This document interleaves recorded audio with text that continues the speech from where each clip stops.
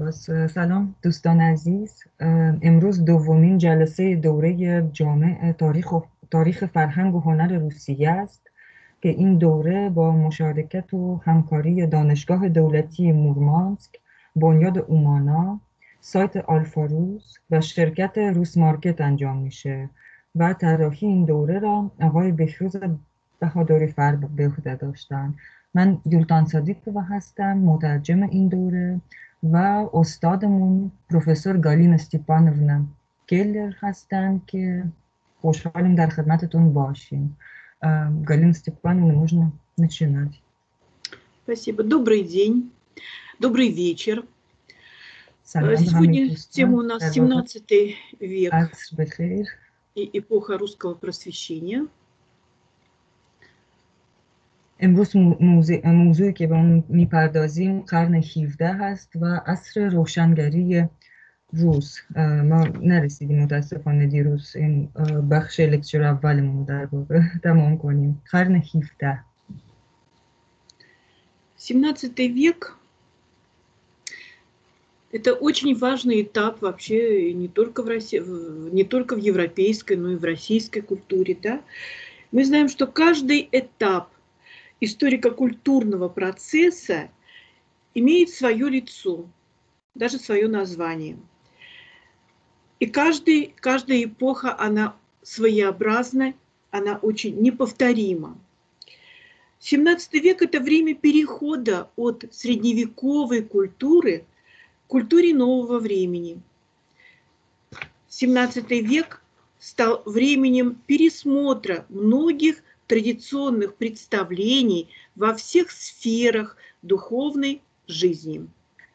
هر مرحله از مراحل روند تاریخی فرهنگی چهره خود را دارد و از ویژگی های خود برخوردار است و حتی نام خاص خود را دارد قرن 17 گذار فرهنگ قرون وسطایی به فرهنگ عصر نو بوده قرن 17 دوره تجدید نظر در مورد بسیاری از عقاید سنتی در همه حوزه های زندگی معنوی فرهنگی بود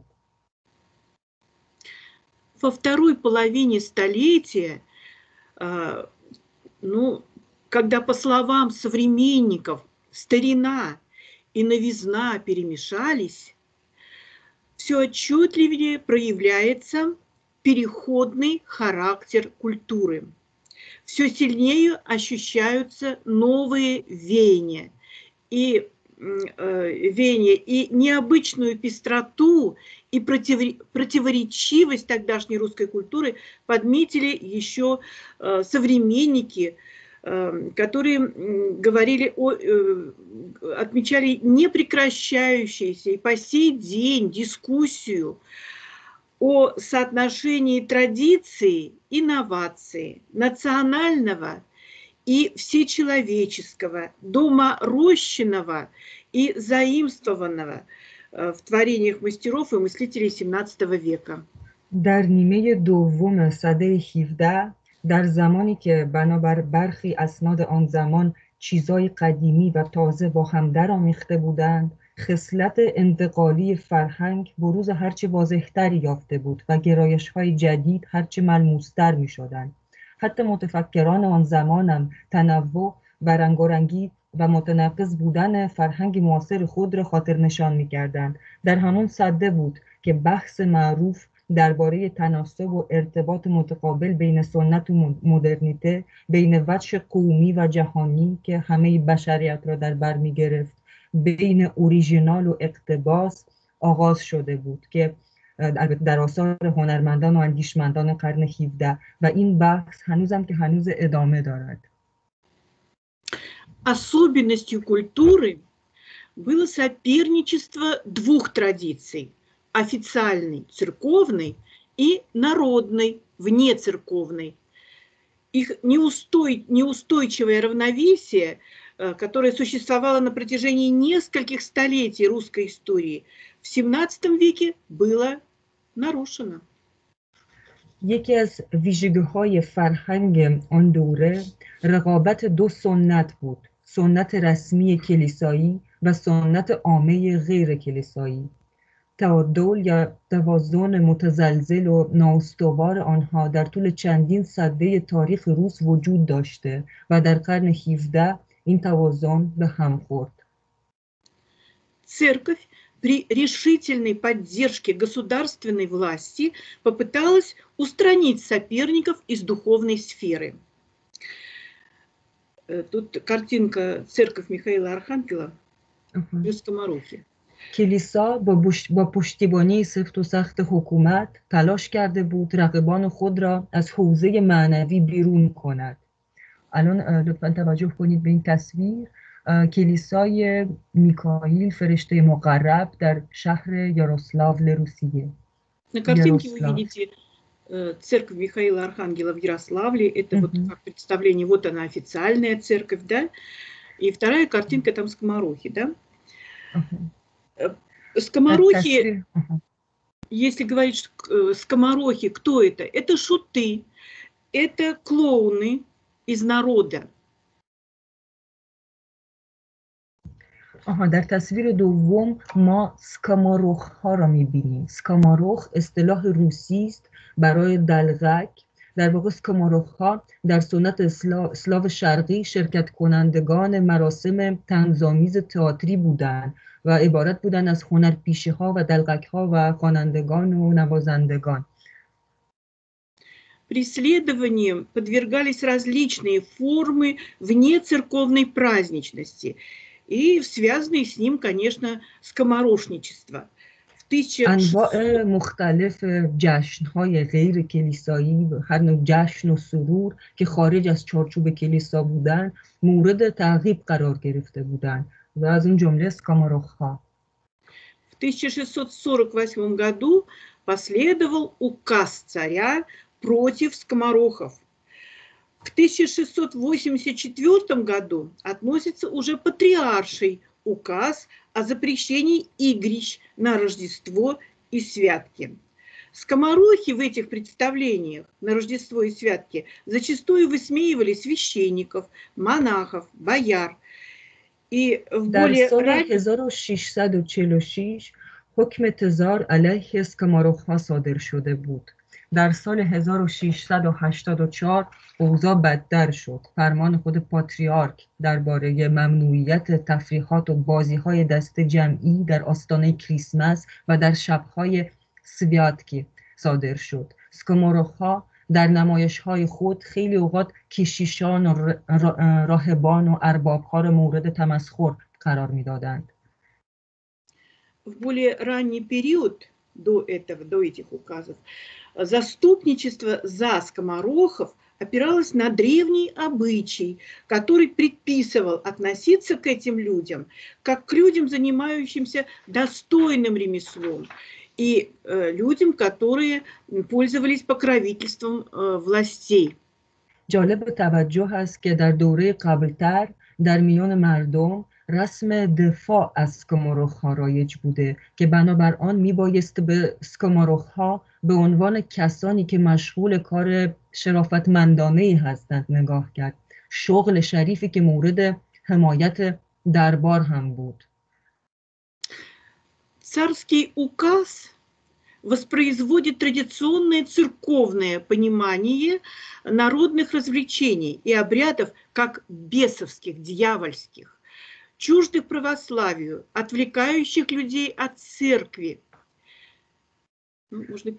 ده، فرمان سال 1646 تزار اما تصور سنتی کلیسا را درباره تفریحات مردم منعکس می کند که طبق آن مراسم و جشنهای عامه به عنوان جادوگری و تلقین شده از جانب شیطان تلقی می شدن که توجه آدم را از کلیسا منحرف میکردن Все, что э, выходит за рамки официальной праздничности, порицается от качелей и кулачных боев на каледовании, ворожбы и гадании. Но особенно достается именно скоморохам. С церковной точки...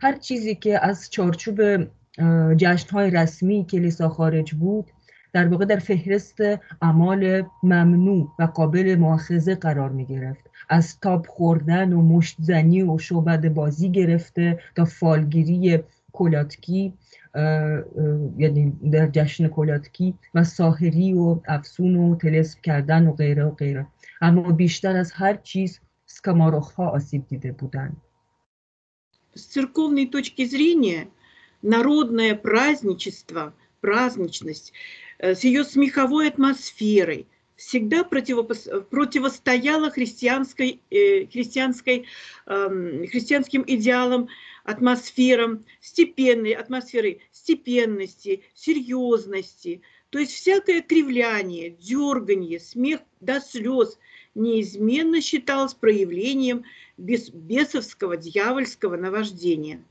از نظر کلیسا جشنهای مردمی با فضای شادشان زیادی شادشان که وظیفه اصلیشان این بود که مردم بیشتر بخندند هرگز با ایدئال های مسیحی درباره جدی و سنگین و یه جوری با وقار بودن نمی ساختند هر گونه دلغک بازی و مسخره بازی و خندیدن به و خندیدن به خصوص وقتی از زور خنده اشک آدم در بیاد تاثیر شیطان یا به کلی جنزدگی محسوب میشد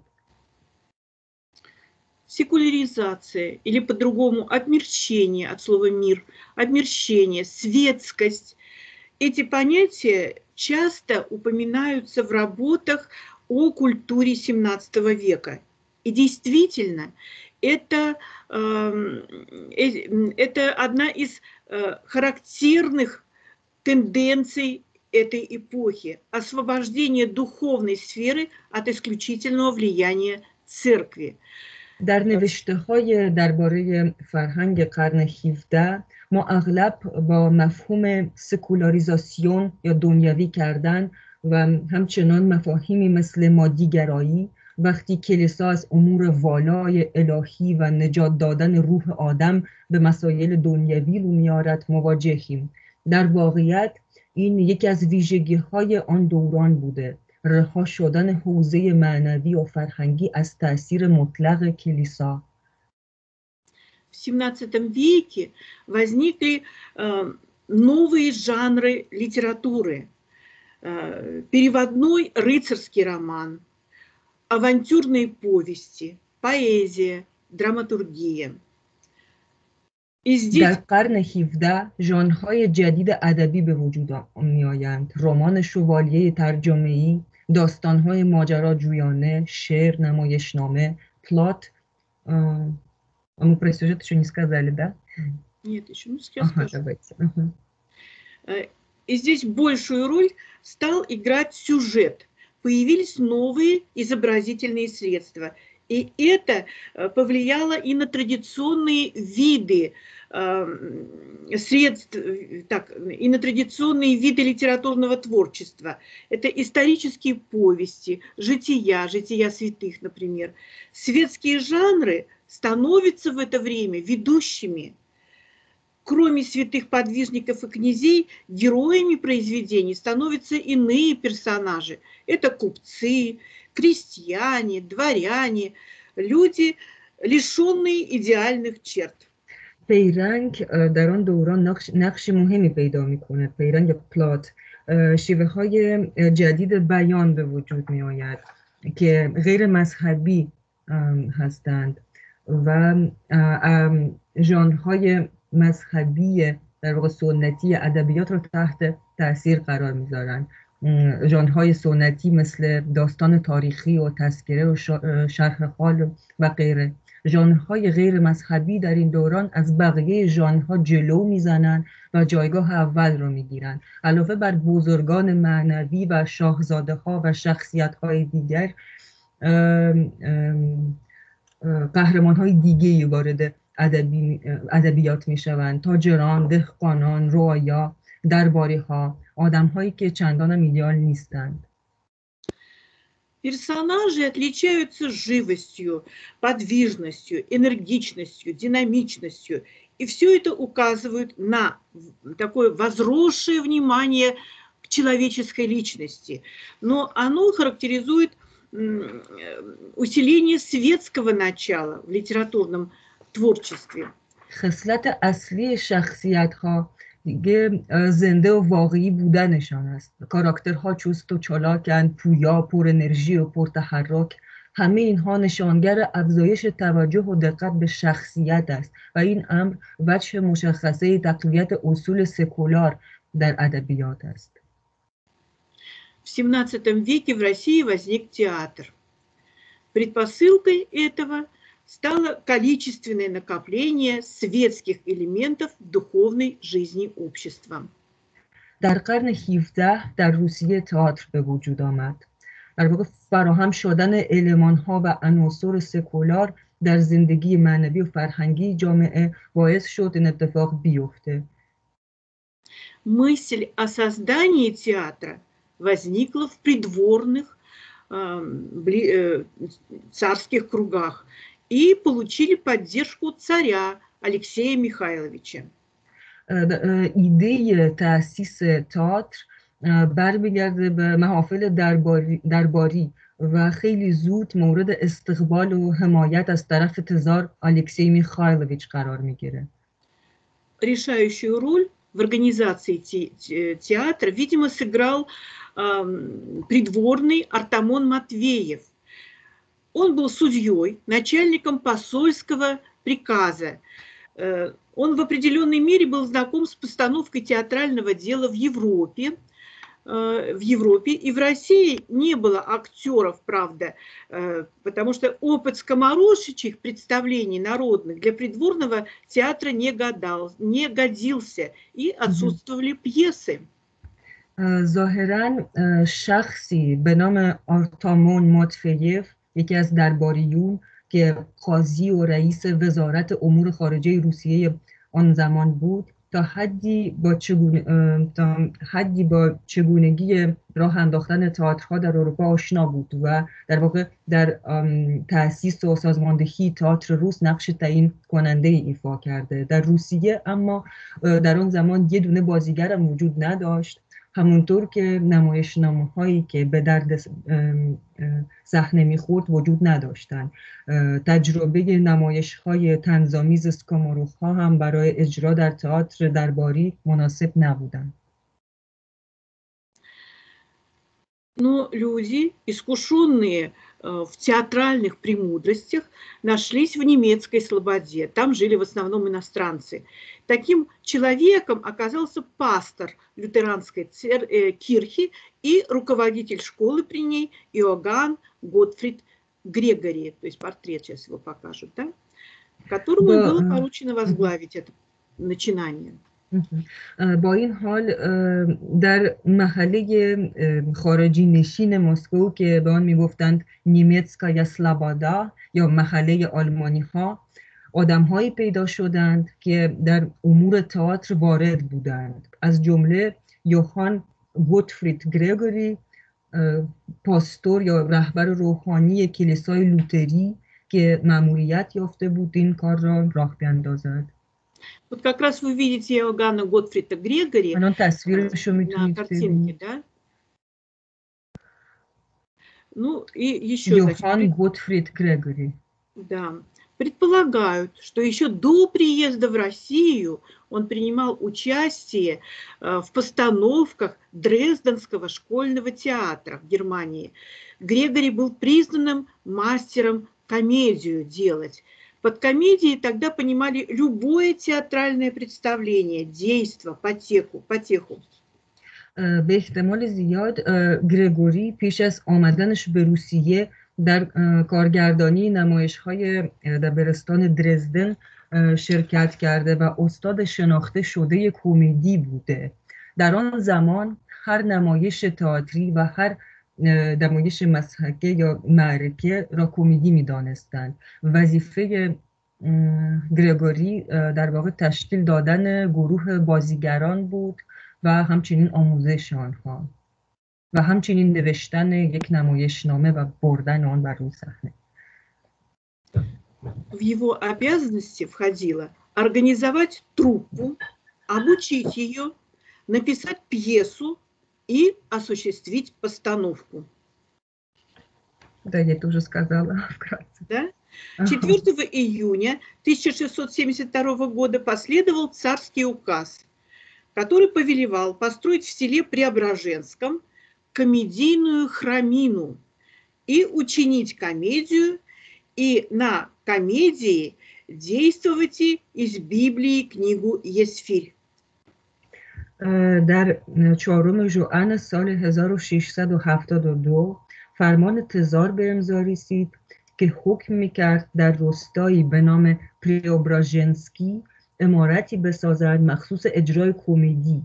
و حالا نقل قول می‌کنیم به پا کردن کمدی که در آن داستان استر را از کتاب مقدس بازسازی کنند. پریمیرم состоялась 17 октября 1672 года. Успех превзошел все ожидания. Репертуар театра за время его существования, который возглавил Грегори, составил 9 пьес, комедий и один балетный спектакль с пением. «Орфей» назывался.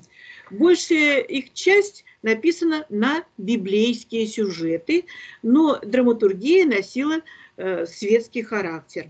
شب رونمایی اون اولین در واقع کمدی اولین نمایش روز در 17 اکتبر سال 1672 برگزار شد استقبالی که شده بود فراتر از انتظار بود رپرتوار اولین تئاتر در روسیه در زمان فعالیتش یعنی از سال 1672 تا سال 1676 از نه نمایش یا کمدی عبارت بود از نه نمایش کمدی و یک نمایش باله همراه با آواز که عنوان آن عرفه بود Деянием ветхозаветных персонажей в пьесах придавались черты такой политической злободневности. На помостках, на подмостках прошлое переносилось в настоящее и создавалась как бы вторая реальность. К ее восприятию надо было подготовить зрителей, сделать так, чтобы театральная условность не стала барьером между ним и сценой.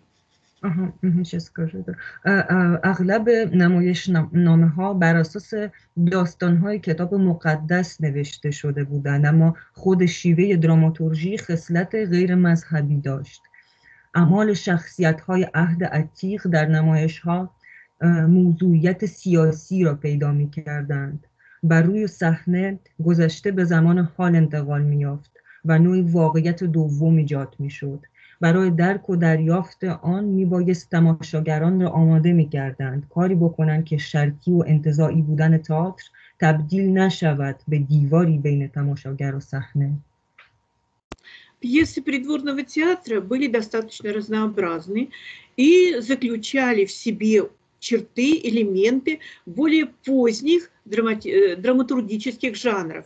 Это трагедии, это драмы, комедии, Э, но они более четко оформились именно в XVIII веке.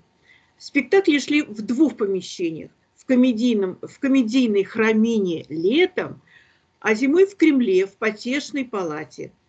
Но следует отметить, что царь после спектаклей ходил в баню помыться для того, чтобы очистить и душу, и тело от этих светских мероприятий. نمایش های تئاتر درباری به اندازه کافی متنوع بودند و شامل علمان های ژانرهای متأخرتر دراماتورژیک مانند تراژدی و درام و کمدی بودند که به طور کامل در قرن 18 شکل گرفتند. نمایش ها در دو امارت اجرا می شدند در تابستان در امارت کمدی و در زمستان در کاخ کریملین در اتاقی که به آن نام اتاق معرکه گذاشته بودند. اما باید متذکر شد که تزار بلا فاصله پس از پایان هر نمایش مستقیم میرفت به حمام سنتی روسی برای تهارت روح و جسم Наряду с придворным театром в конце XVII века возник школьный театр, который получил э, значительное развитие уже в XVIII веке. علاوه بر تئاتر درباری که چهار سال فعال بود در اواخر قرن 17 تئاتر مدرسی یا دبیرستانی به وجود آمد که رشد قابل توجه آن مربوط است به قرن 18 Спектакли осуществлялись силами учеников Славяно-Греко-Латинской академии, а до ее основания учениками монастырских школ – Школьная драма использовала евангельские сюжеты, житейские, э, житийные предания и выполняла в сущности религи, религиозно-дидактические функции. نمایش های این تئاتر به کوشش شاگردان آکادمی اسلاو آلمانی لاتین این عنوان آکادمی است در واقع به روی صحنه میرفت و پیش از تأسیس این آکادمی به کوشش شاگردان مدارس راهبان درام دانشجویی از داستانهای انجیلی و روایات استفاده می کرد و در واقع هدف مذهبی اخلاقی و پندآموز داشت Театр был зерцалом, в котором зритель узнавал и познавал себя. То есть театр как зеркало, в котором зритель узнавал и познавал себя. Театр, э, در واقع نوع آینه بود. آینه ای که э, تماشاگر در آن خود را می‌دید و میشناخت. Но музыка ведущим жанром в XVII веке по-прежнему оставалось церковное пение. Во второй половине XVII века вместо знаменного одноголосного унисонного пения возникает многоголосие, полифоническое исполнение, так называемое партесное пение от латинского «парс» – часть. Совершенствует это поэтому, нотной это я, я поэтому покороче переведу. موسیقی الان برسیم به موسیقی قرن 17 در قرن 17 آواز کلیسایی همچنان ژانر برتر موسیقیایی مونده بود در نیمه دوم قرن 17 به جای آواز اومیسون یا همصدا بر اساس سنت آواز آوازی به نام زنمینی به روسی به معنی حالا ساخته شده بر اساس نشان ها یا علامت هایی که از روی آنها خونده میشد آواز پولیفونیک یا چند صدایی به وجود می آید به اصطلاح آواز پارتس که الان راجبش مفصل تر حرف میزنیم Я немножко перескочу. Там, ага. почитать, почитателями портесного пения был царь и патриарх, патриарх Никон. Некоторое угу. распространение в 17 веке получила инструментальная музыка. Я про Портес, по-моему, еще не сказала. Ага. در واقع به این آواز پولیفونی که چند صدایی که به اون اشاره کرده بودیم میگفت آواز پارتس در واقع از ریشه پارس لاتین به معنی قسمت بخش جز ساخته شده است این کلمه و مثلا پاتریارک نیکون خودش از علاقمندان آواز پارتس بود که در آن زمان واقعا رواج بسیاری داشت В состав потешной палаты входили цимбалисты, трубачи, скрипачи. Особенно привелась органная музыка. Органисты, большей частью были поляки, они регулярно состояли в штате двора. Но степень распространения инструментальной музыки Э, преувеличивать нельзя. В России в XVII веке музыкой называлось только хоровое пение, которое было связано с богослужением. Игра на инструментах рассматривалась как мирское занятие, как праздная забава.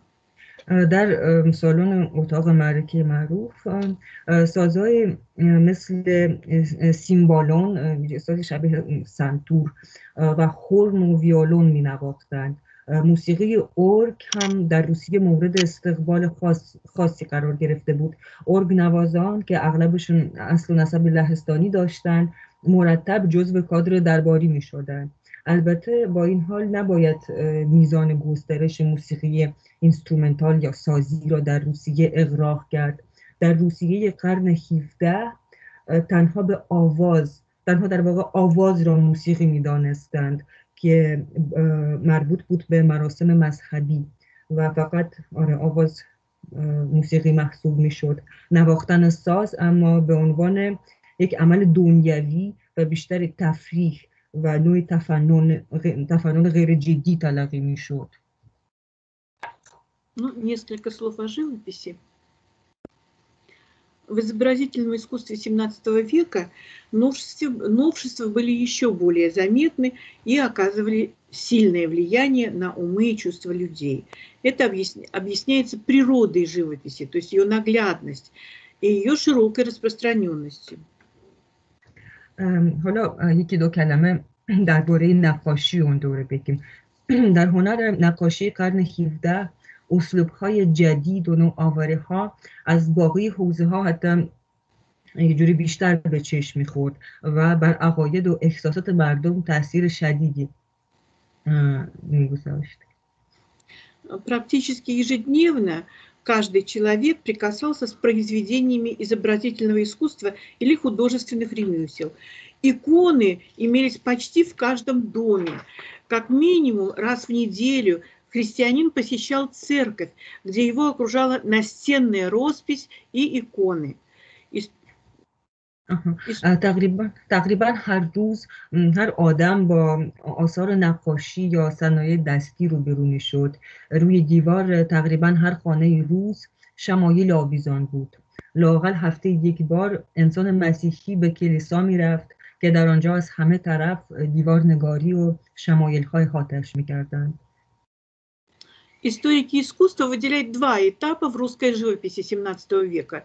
В первой половине столетия господствовали традиции монументального, несколько тяжеловесного, годуновского стиля и э, изящного строгановского письма. تاریخ نگاران هنر نقاشی قرن 17 روس را به دو مرحله تقسیم می کنند در نیمه اول صده 17 سنت سبک بسیار سنگین و وزین گودونوف سبک گودونوف و همچنین شمایل نگاری سبک استروگانوف که بسیار ظریف بود بر باقی سبک ها چیرگی داشتند Искусство XVII века поставило цель изукрасить землю и превратить ее облик в символ райского сада. در کل هنر تجسمی قرن 17 هدفی برای خود گذاشته بود آراستن زمین و تبدیل کردن ظاهر آن به نماد باغ بهشتی И мастера прикладного искусства изощрялись в своей работе.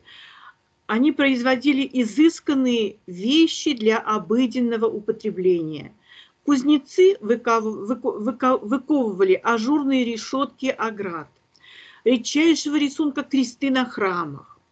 Облик храма утрачивал строгость архитектуры прошлых лет, э, прошлых веков и приобретал композиционную многоплановость, нарядность убора.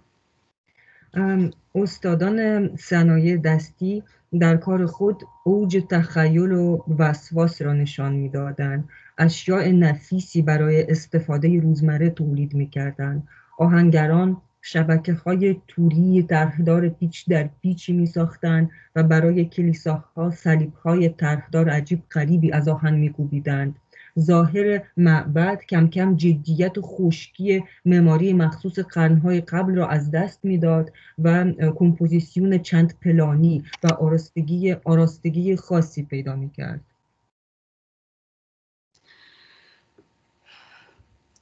Архитектура XVII века просто поражает причудливостью фантазии, пышностью убранства, изысканностью декора – дивным узоричи, узоричьем узор было названо созданное художниками того времени. Ну, картинка «Коломенский дворец».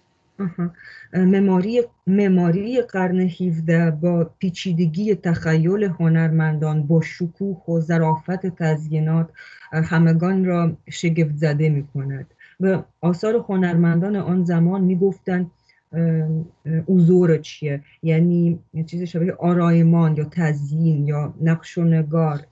ساختمان های حالا یکی از نمونه های معماری اون دوران رو می‌تونید الان رو تصویر ببینید. این کاخ کالومنسکی است که در واقع یکی از درخشانترین نمونه های سبک اوزور چی است.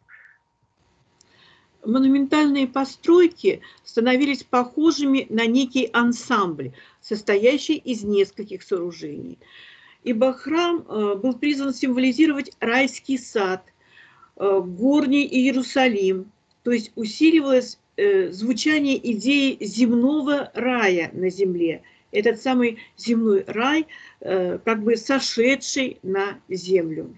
ساختمان های عظیم آن زمان معمولا مجموعه های باشکوه بودند که از چندین و چند بنا تشکیل شده بودند. مثلا چون کلیسا یا معبد قرار بود نماد فردوس یا باغ بهشتی باشد و نوعی اورشلیم آسمانی یعنی ایده بهشت بر روی زمین را تشدید کند. بهشتی که گویی از فراز آسمان فرود آمده است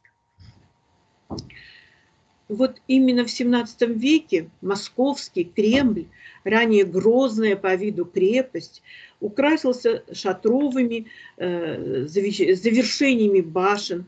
Он утратил свою прежнюю суровость, превратился в украшение земли.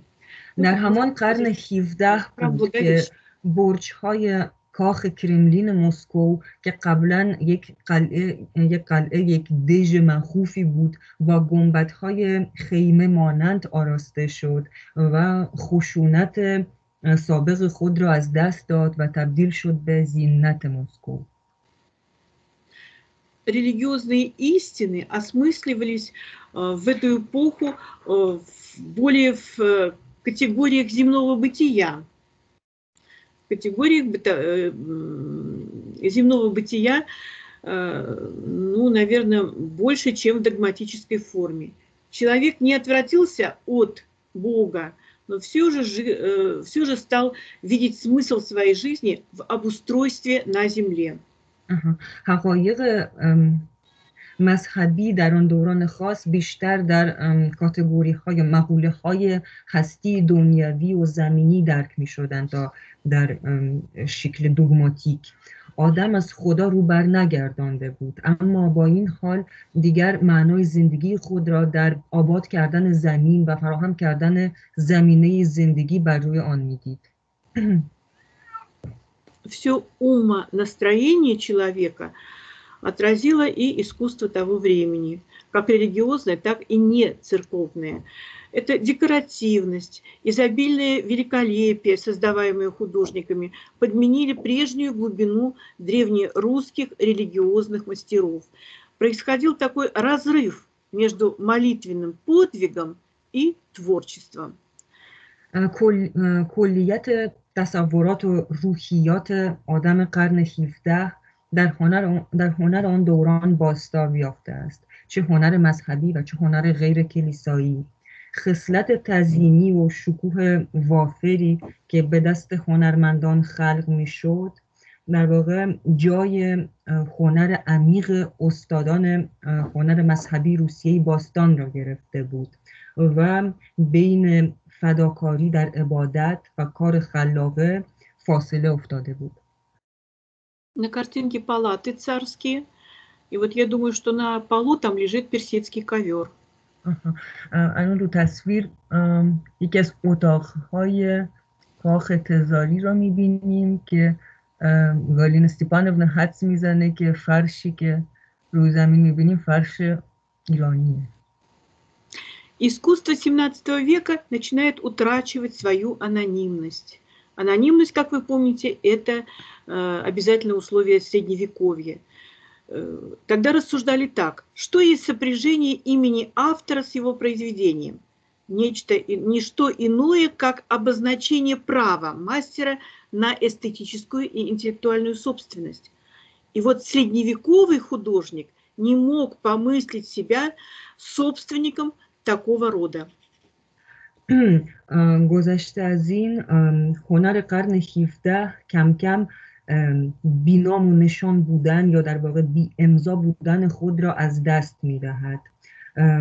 ارتباط اسم خالق اثر هنری با اثر او چیزی نیست جز ثبت حق زیبایی شناختی و حقوق معنوی و مالکیت فکری.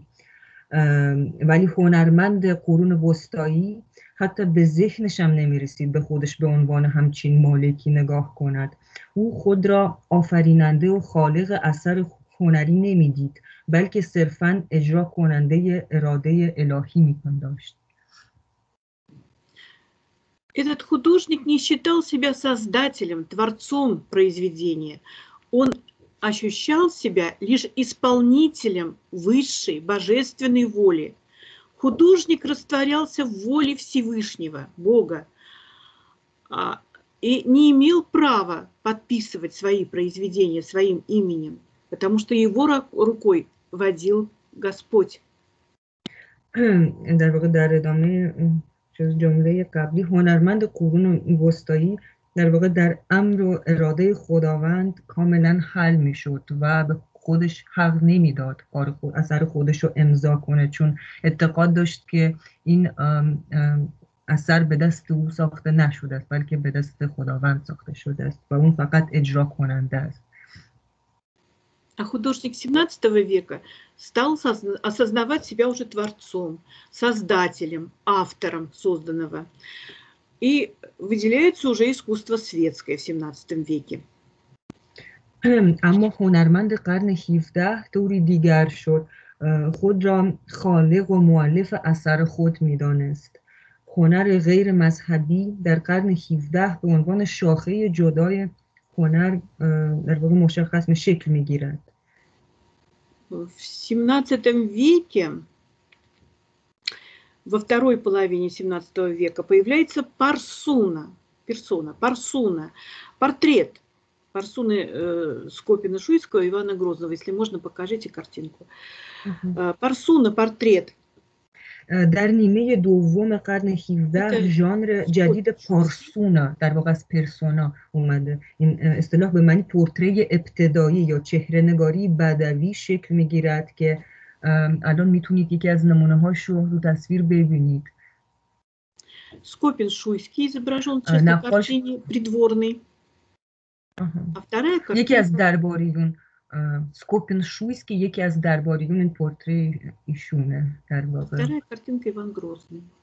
آها و تصویر دوم پورتری چهره نگاری ابتدایی بدوی ایوان مخوف است نمونه های پارسونا Вот появление парсуны, изображение человека, да, это говорит об интересе уже к личности, к внутренней жизни этой личности, да. Ну и мы видим, что این ژانر نشانگر علاقه آدم ها به شخصیت است. Наблюдается подражение западным образцам, европейским образцам. И э, здесь большую роль э, вот сыграл, мы уже о барокко говорили, стиль барокко. Он сыграл иную роль, нежели в Европе. Мы помним, что э, в европейском искусстве, в итальянском, барокко – это прежде всего стиль католичества, католической церкви. Да? Вот. А здесь у нас э, прежде всего это барокко стало переходом к культуре нового времени. И выводят... تقلید در قرن 17 ما در واقع تقلید از الگوهای غربی مواجهیم و اینجا باید حتما به سبک باروک روس اشاره کرد که نقش سبک باروک در روسیه با اروپا فرق می کند آنجا در اروپا ما با عکس عمل کاتولیک ها به фаолият رنسانس و اصلاح طلبی مواجه بودیم در حالی که در روسیه باروک گذاری بود به عصر نو В эволюции российского барокко выделяются этапы. первоначальный, 17 век, его иногда называют Нарышкинским.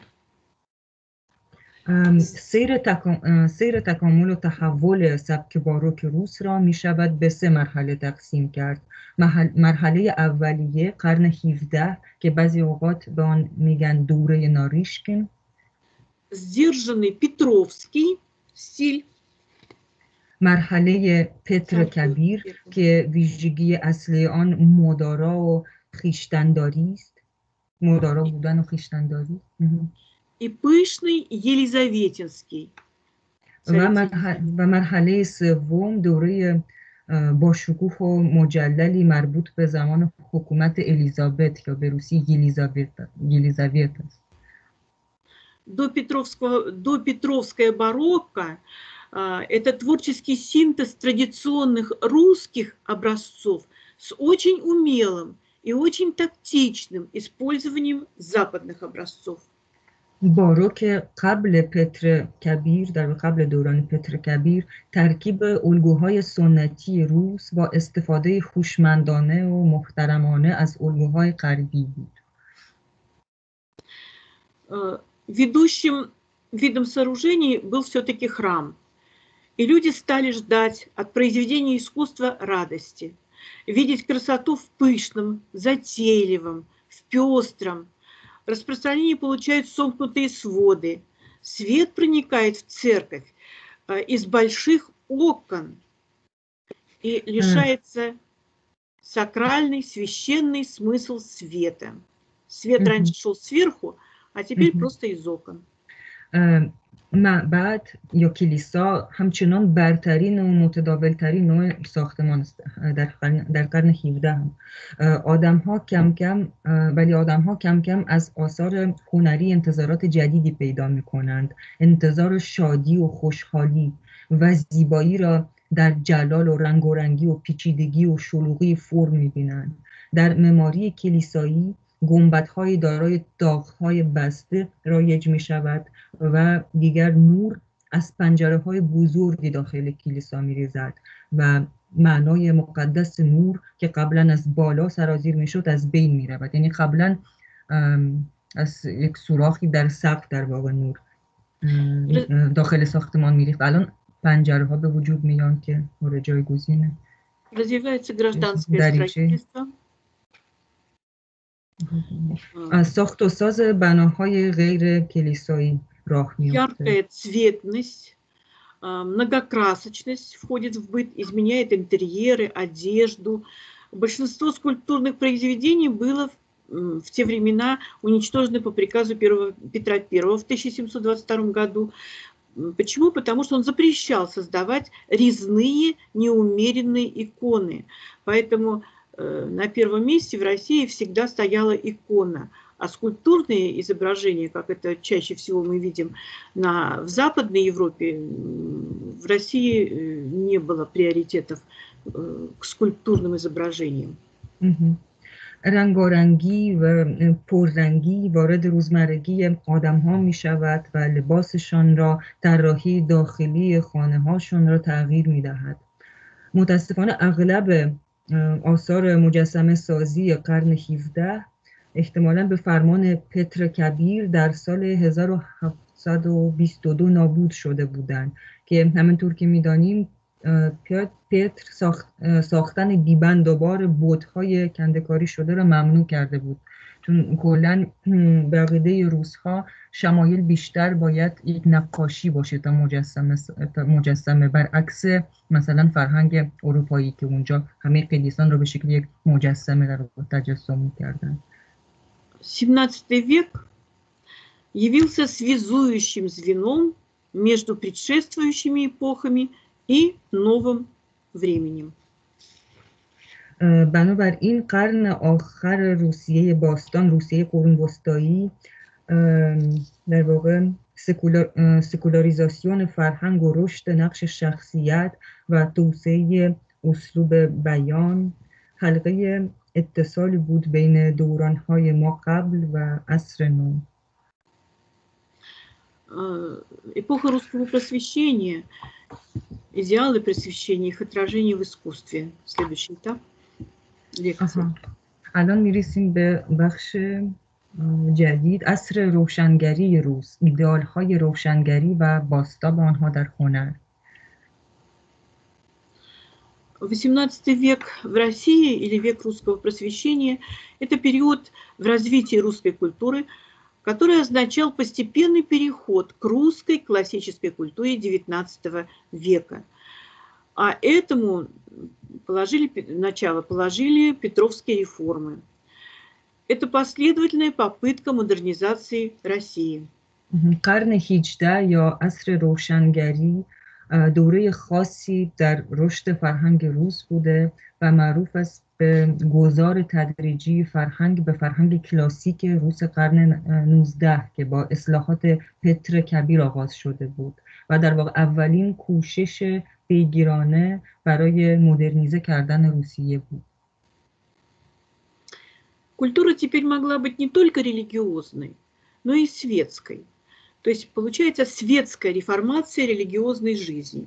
В то же время осуществленная Петром I церковная реформа была направлена на то, чтобы культура Западной Европы проникла в бытовую культуру верующего человека. فرهنگ دیگر حال و هوای صرفا مذهبی نداشت و علتش اجرای اصلاحات سکولار در زندگی مذهبی بود در این حال هدف اصلاحات کلیسایی که توسط پتر کبیر اجرا شده بود این بود که فرهنگ اروپای غربی به فرهنگ روزمره انسان مذهبی روز روز نفوذ پیدا کند Ну, на картинке мы видим Петра Первого, да? الان پورتری پتر Петра Кабира А для обычного человека вот эта вот э, новая культура была внешней, ненужной, смущавшей его. А петровские реформы последовательно ориентировали Россию на приобщение к западноевропейской цивилизации. И на деле этот процесс был очень противоречивым и очень неоднозначным процессом. البته فرهنگ اروپایی برای روسها یک عنصر بیرونی و غریب و اضافه و نالازم بود و موجب سراسیمگیشان می‌شد و اصلاحات پتر کبیر که گرایش به سوی آشنا کردن فرهنگ روس با تمدن اروپای غربی و وارد کردن روسیه به تمدن اروپایی غربی بود در عمل یک جریان پرتناقض و چند پهلویی بود. Идеи либерализма, западнические реформы исходили от верхов, от самих властных структур, от монарха, от монарха, его ближайшего окружения. А вот охранительно-консервативные, национально-почвеннические настроения шли снизу, и они совпадали с настроениями народных масс, с настроениями поместного дворянства – ایده های لیبرالیسم و اصلاحات غربگرایانه از تشکیلات حکومتی سرچشمه می گرفت یعنی از پادشاه و نزدیکترین اطرافیان او. اما گرایش های محافظه, کارانه و ملی گرایانه به اصطلاح از پایین ناشی می شدن از قشرهای پایین اجتماعی و هماهنگ می شدن با روحیه توده ها و اشرافیون زمیندار. Петр I перенял внешнюю форму европейской культуры. Мы знаем, что Петр I перенес столицу из Москвы э, в Санкт-Петербург, назвал ее по-голландски Санкт-Петербург. Э, Петр I ввел новый календарь. Э, и начало Нового года перенес с сентября на 1 января. Ввел часы, иностранную терминологию, европейскую одежду, общественное увеселение, манеры поведения. И... Ага, ну да, да, закончите там небольшой. Реформатор, рефер, реформатор не произвел, он не сумел произвести глубинной перестройки России. Все на внешнем уровне. با وجود اینکه پتر کبیر شکل ظاهری فرهنگ اروپا را به آریت گرفته بود مثلا حتی پایتخت را به پترزبورگ منتقل کرده بود و به شیوه هلندی عنوانش را تبدیل کرده بود به سنت پترزبورگ پترزبورگ مقدس. با وجود اینکه تقویم جدیدی جایگزین تقویم سابق کرده بود و اول ژانویه روز اول سال شده بود با همه اقتباس هایی که اقتباس های از لغات خارجی و لباس اروپایی و تفریحات اجتماعی و شیوه رفتار پتر کبیر اصلاح طلب از نوسازی عمیق روسیه عاجز ماند. Главная цель – создание регулярного государства, которое подавляло и нередко уничтожало эту самую личность, культивировало функционерство как поведение. И все это осуществлялось ценой раскола, разрыва между э, Русью, той старой Русью, и Россией ценой отчуждения русского человека от национальной почвы. اما هدف اصلی پتر کبیر برقراری یک دولت منظم بود که در رسیدن به آن موفق شد دولتی که شخصیت را سرکوب میکرد و اغلب نابود میکرد دولتی که بر پایه فانک، فانکشنریزم یا خدمت به دولت یا کارمند دو، کارمندی دولتی استوار بود به عنوان در واقع پترین فانکشنریزم را به عنوان مدل و الگوی رفتار انسان ترغیب می‌کرد و بهای رسیدن به این هدف بزرگش متاسفانه ایجاد جدایی و شکاف بین روسیه قدیم و روسیه جدید شد و احساس بیگانگی به وجود آورد احساس بیگانگی به وجود آورد نسبت به ملیت خود و هرچه اصیل و وطنی است. В XVIII столетии, столетии определились три течения, которые стали наиболее типичными для развития отечественной философии. در قرن 18 سه جریان اصلی در فلسفه روس مشاهده میشد که در واقع بر روند کل فلسفه روس بعدا تاثیر شدیدی گذاشت. Первое. Оно исследовало скептицизм, проповедовало, исповедовало скептицизм и вольнодумство в духе вольтерианства. В дальнейшем из них вышли радикализм и нигилизм в России. Представители... آها можно я по, по одному? اولی, اولی به سکپتیسیزم یا شکگرایی یا شکاکیت و آزاد اندیشی تحت تاثیر ولتر اعتقاد داشت که بعدها رادیکالیزم یا افرادگرایی و نیهیلیزم هیچ انگاری از آن شکل گرفت. Представители второго течения, вот э, как раз вы видите Вольтера перед, э, на картинке. Представители второго течения пытались создать новую национальную идеологию, которая проповедовала идею великой России на, на место святой России. نمایندگان جریان دوم تلاش میکردند ایدئولوژی جدید ملی به وجود بیارند و ایده روسیه کبیر را که جانشین روسیه مقدس باشد تبلیغ میکردند. И вот искания этих людей основывались на естественном праве или на просветительстве. И отсюда потом выходит русский гуманизм XVIII столетия – а вот третье течение жаждало удовлетворения религиозно-философских запросов вне церкви и отличалось э, склонностью к мистицизму. جستجوهای فلسفی جستجوهای فلسفی جریان سوم همین گروه دوم مبنی بر قانون طبیعی و روشنگری بود و هومانیزم یا انسانگرایی روس قرن 18 در واقع داره اینجا ریشه می‌گیره جریان سوم تشنه برآورده شدن یا ارزای خواستهای مذهبی فلسفی انسان خارج از چارچوب کلیسا بود و گرایش خاصی به میستیسیزم یا عرفان داشت. می‌تونید تصویر ژان ژاک روسو رو ببینید که در واقع فیلسوف دوم اروپایی است که Ну Тесиру Шадигеру, философану а, Гускодашты. Немножко раскроем каждое из этих течений. Основные принципы перечислим хотя бы так. Вот Хели Первое,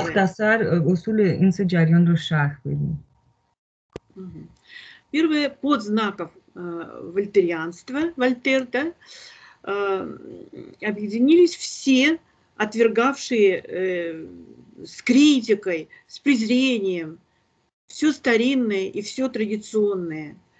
Здесь мы видим скептицизм, иронию, критику общественного строя, осмеяние суеверий, отрицание чудес, преклонением перед естественным. Все это проповедовали сторонники новых идей.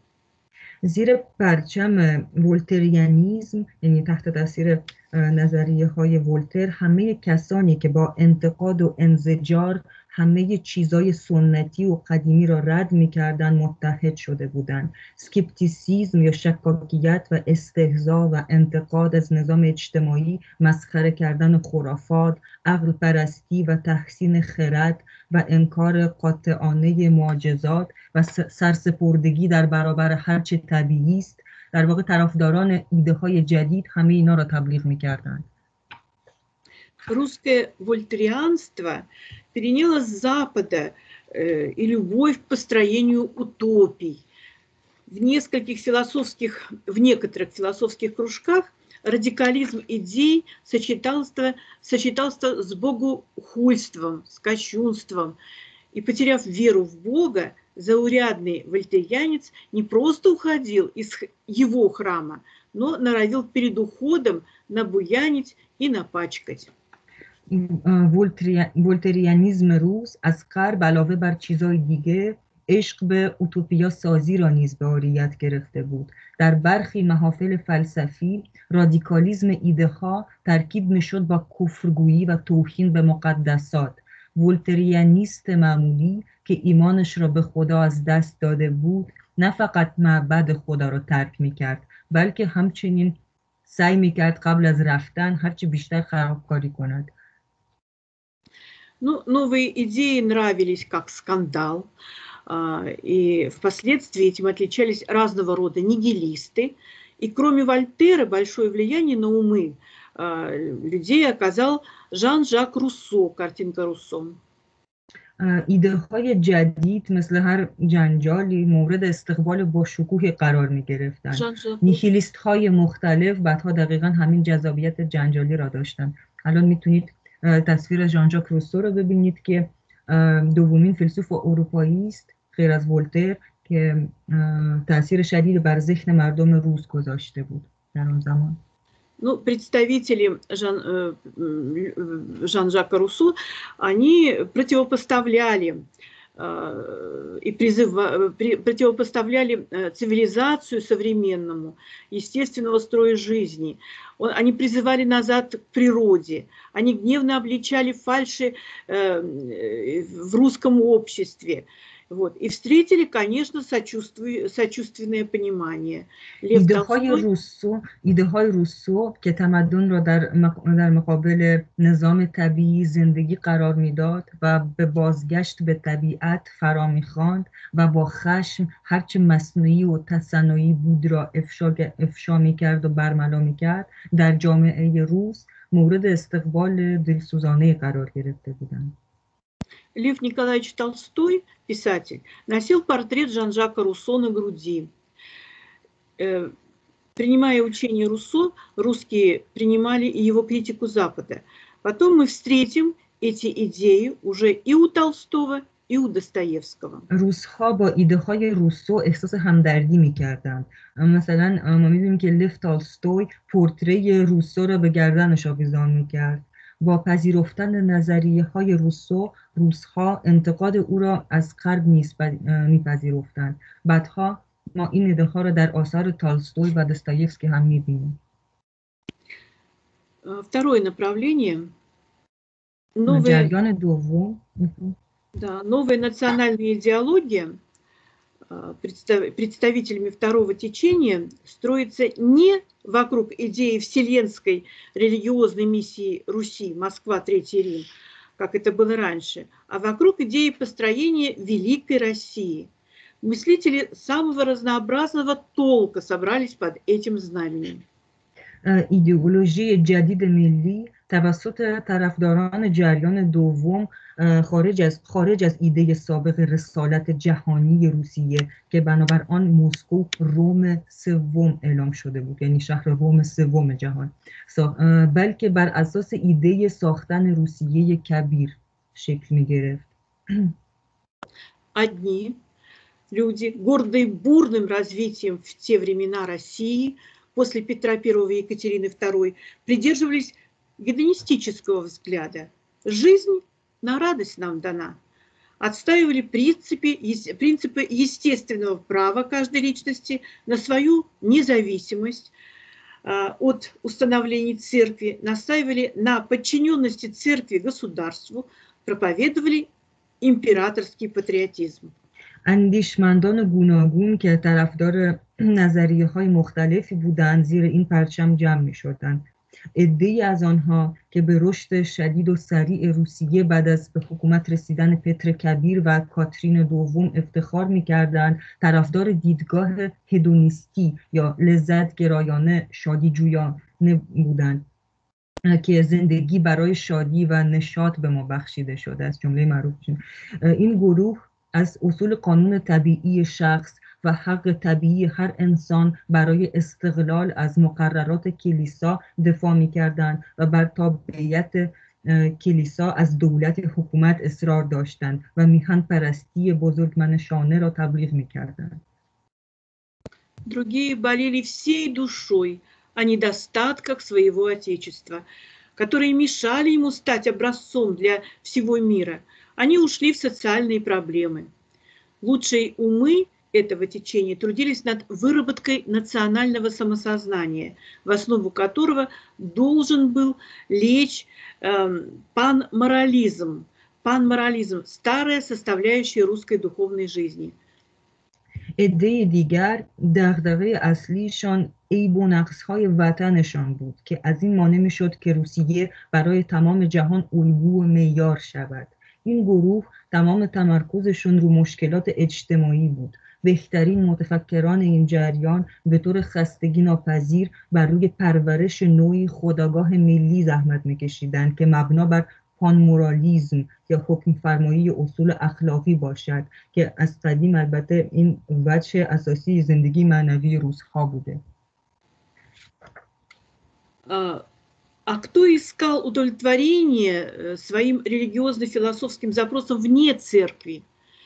И здесь выделяются фигуры ученых, и прежде всех Михайла Ломоносова. در میان در میان اندیشمندانی که به دنبال ارزای خواستهای مذهبی فلسفی انسان خارج از مقررات کلیسا بودند باید به دانشمندان اشاره کرد که مهمترینشان میخ... میخایل و لومانوسوف بود الان میتونید تصویرش رو ببینید میتونید ببینید بنیانگذار اتفاقا دانشگاه مسکو Михаил Ломоносов человек глубоко религиозный, но он как естествоиспытатель не мог удовлетвориться методами исследования натуры, которые предлагаются церковью. Цир циркулем измерить Божью волю не измерить, но на псалтыре не научишься химии или астрономии, говорил Ломоносов.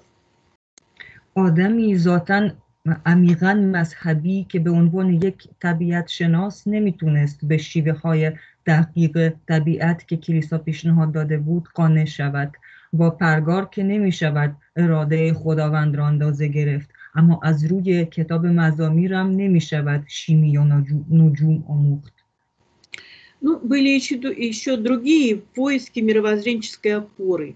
И чаще всего это были философы мистического толка. فیلسوفان دیگری هم وجود داشتن که به دنبال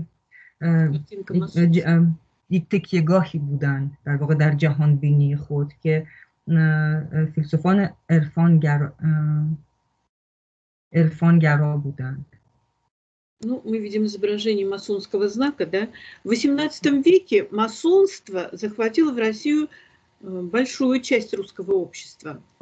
несмотря на многообразие духовно-идеологических ориентаций, масов, масоны или вольные каменщики в своем подавляющем большинстве провозглашали идеалы над национального духовного братства, веротерпимости, веротерпимости до религиозной беспринципности, э, провозглашали совершенствование человека и человечества.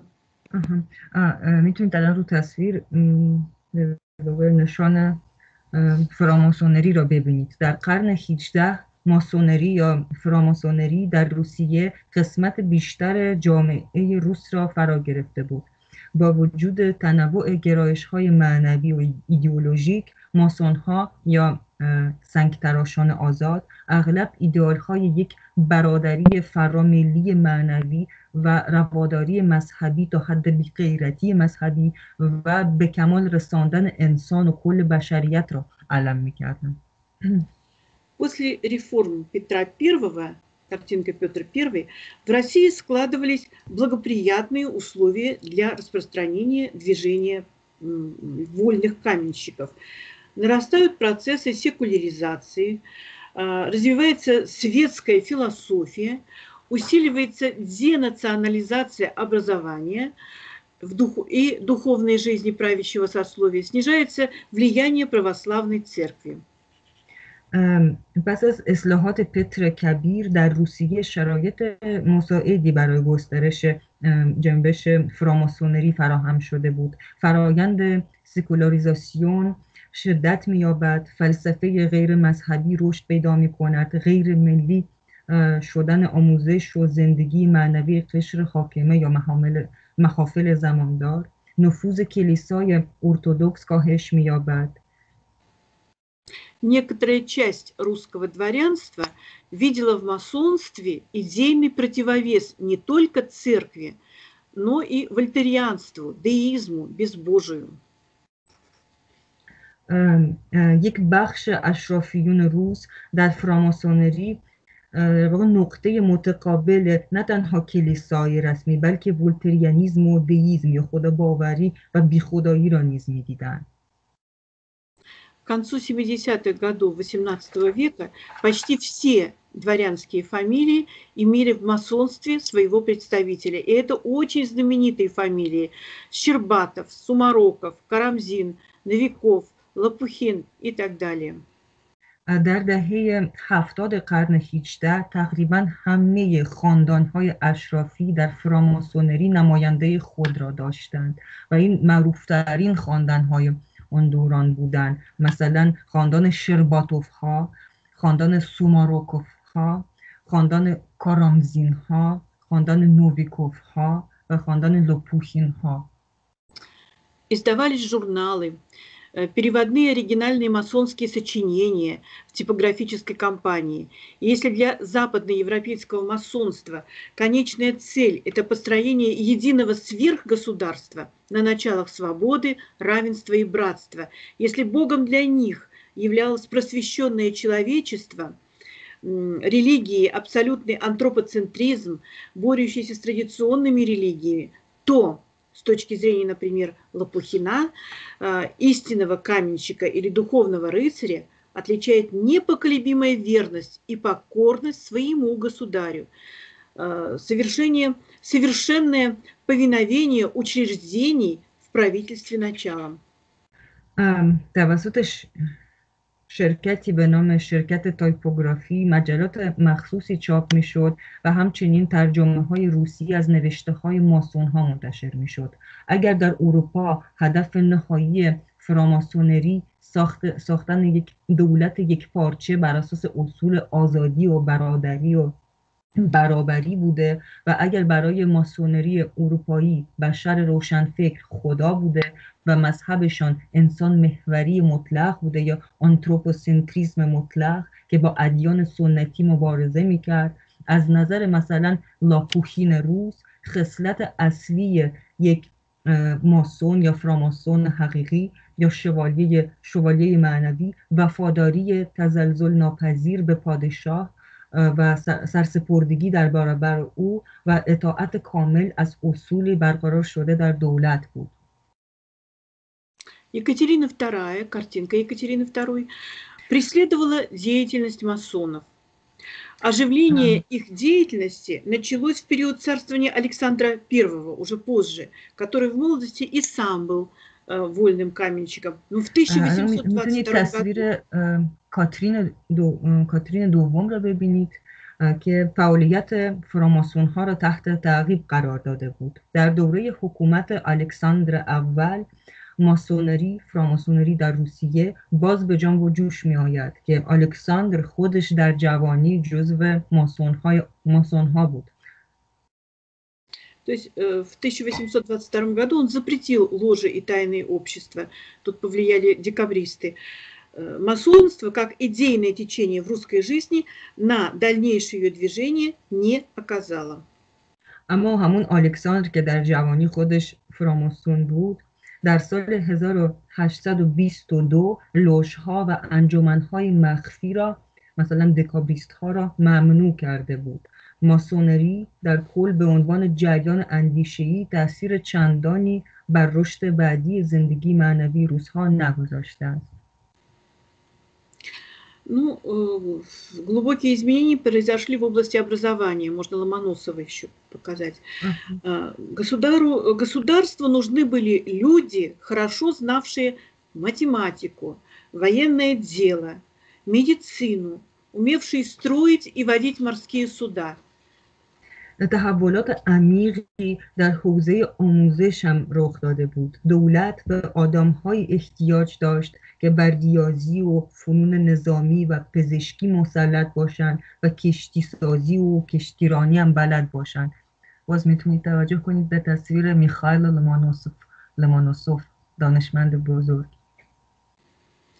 период Северной войны была создана артиллерийская школа в Москве, это 1701 год, русская школа на корабельных верфях под Воронежем, 1703 год, в котором учили чтению и письму по-русски и арифметику.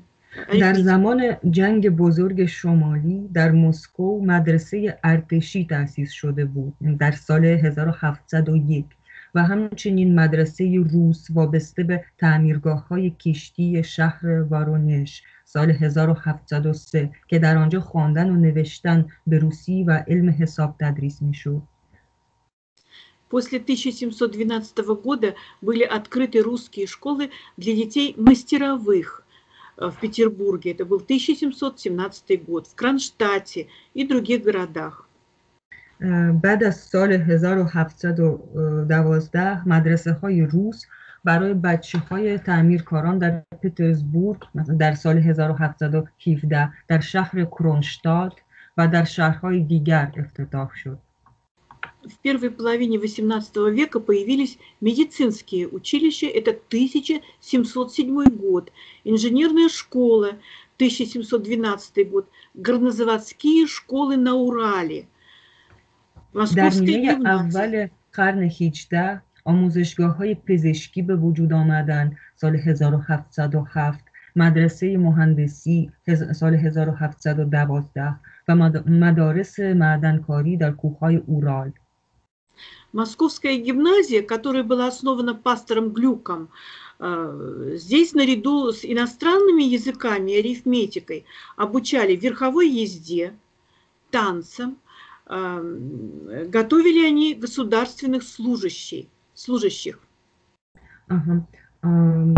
علاوه بر این آموزشگاه ها در مسکو دبیرستان مسکو یا جیمنیزیوم مخصوص تربیت کارمندان دولت تأسیس شده بود که بنیانگذار آن پاستور گلوک پاستور معروف گلوک بود که خیلی معروفه این در سالهای هزار از سالهای 1703 تا سال 1715 در آنجا علاوه بر زبانهای خارجی و علم حساب سوارکاری و رقص و باقی چیزا تدریس میشد По инициативе Петра I лучших выпускников школ отправляли за границу совершенствоваться в области наук, искусства, языков.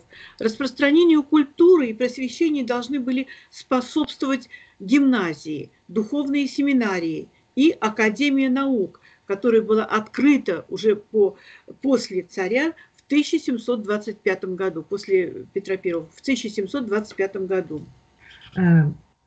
به ابتکار پتر کبیر بهترین فارغ و تحصیلان مدارس به خارج فرستاده می شدند تا, تا آنجا معلومات خود را در علم و هنر تکمیل کنند.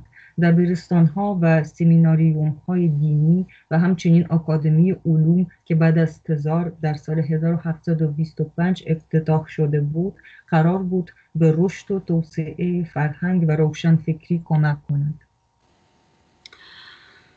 Просветительство, ставшее в Петровскую эпоху государственной идеей, тут можно Петра I опять показать, э, дало свои плоды, дало свои плоды. Началось систематическое изучение и составление карт с градусной сеткой на основе соответствующих измерений Европейской России, Сибири, включая Урал и Дальний Восток. Тут много, поэтому я переведу сейчас.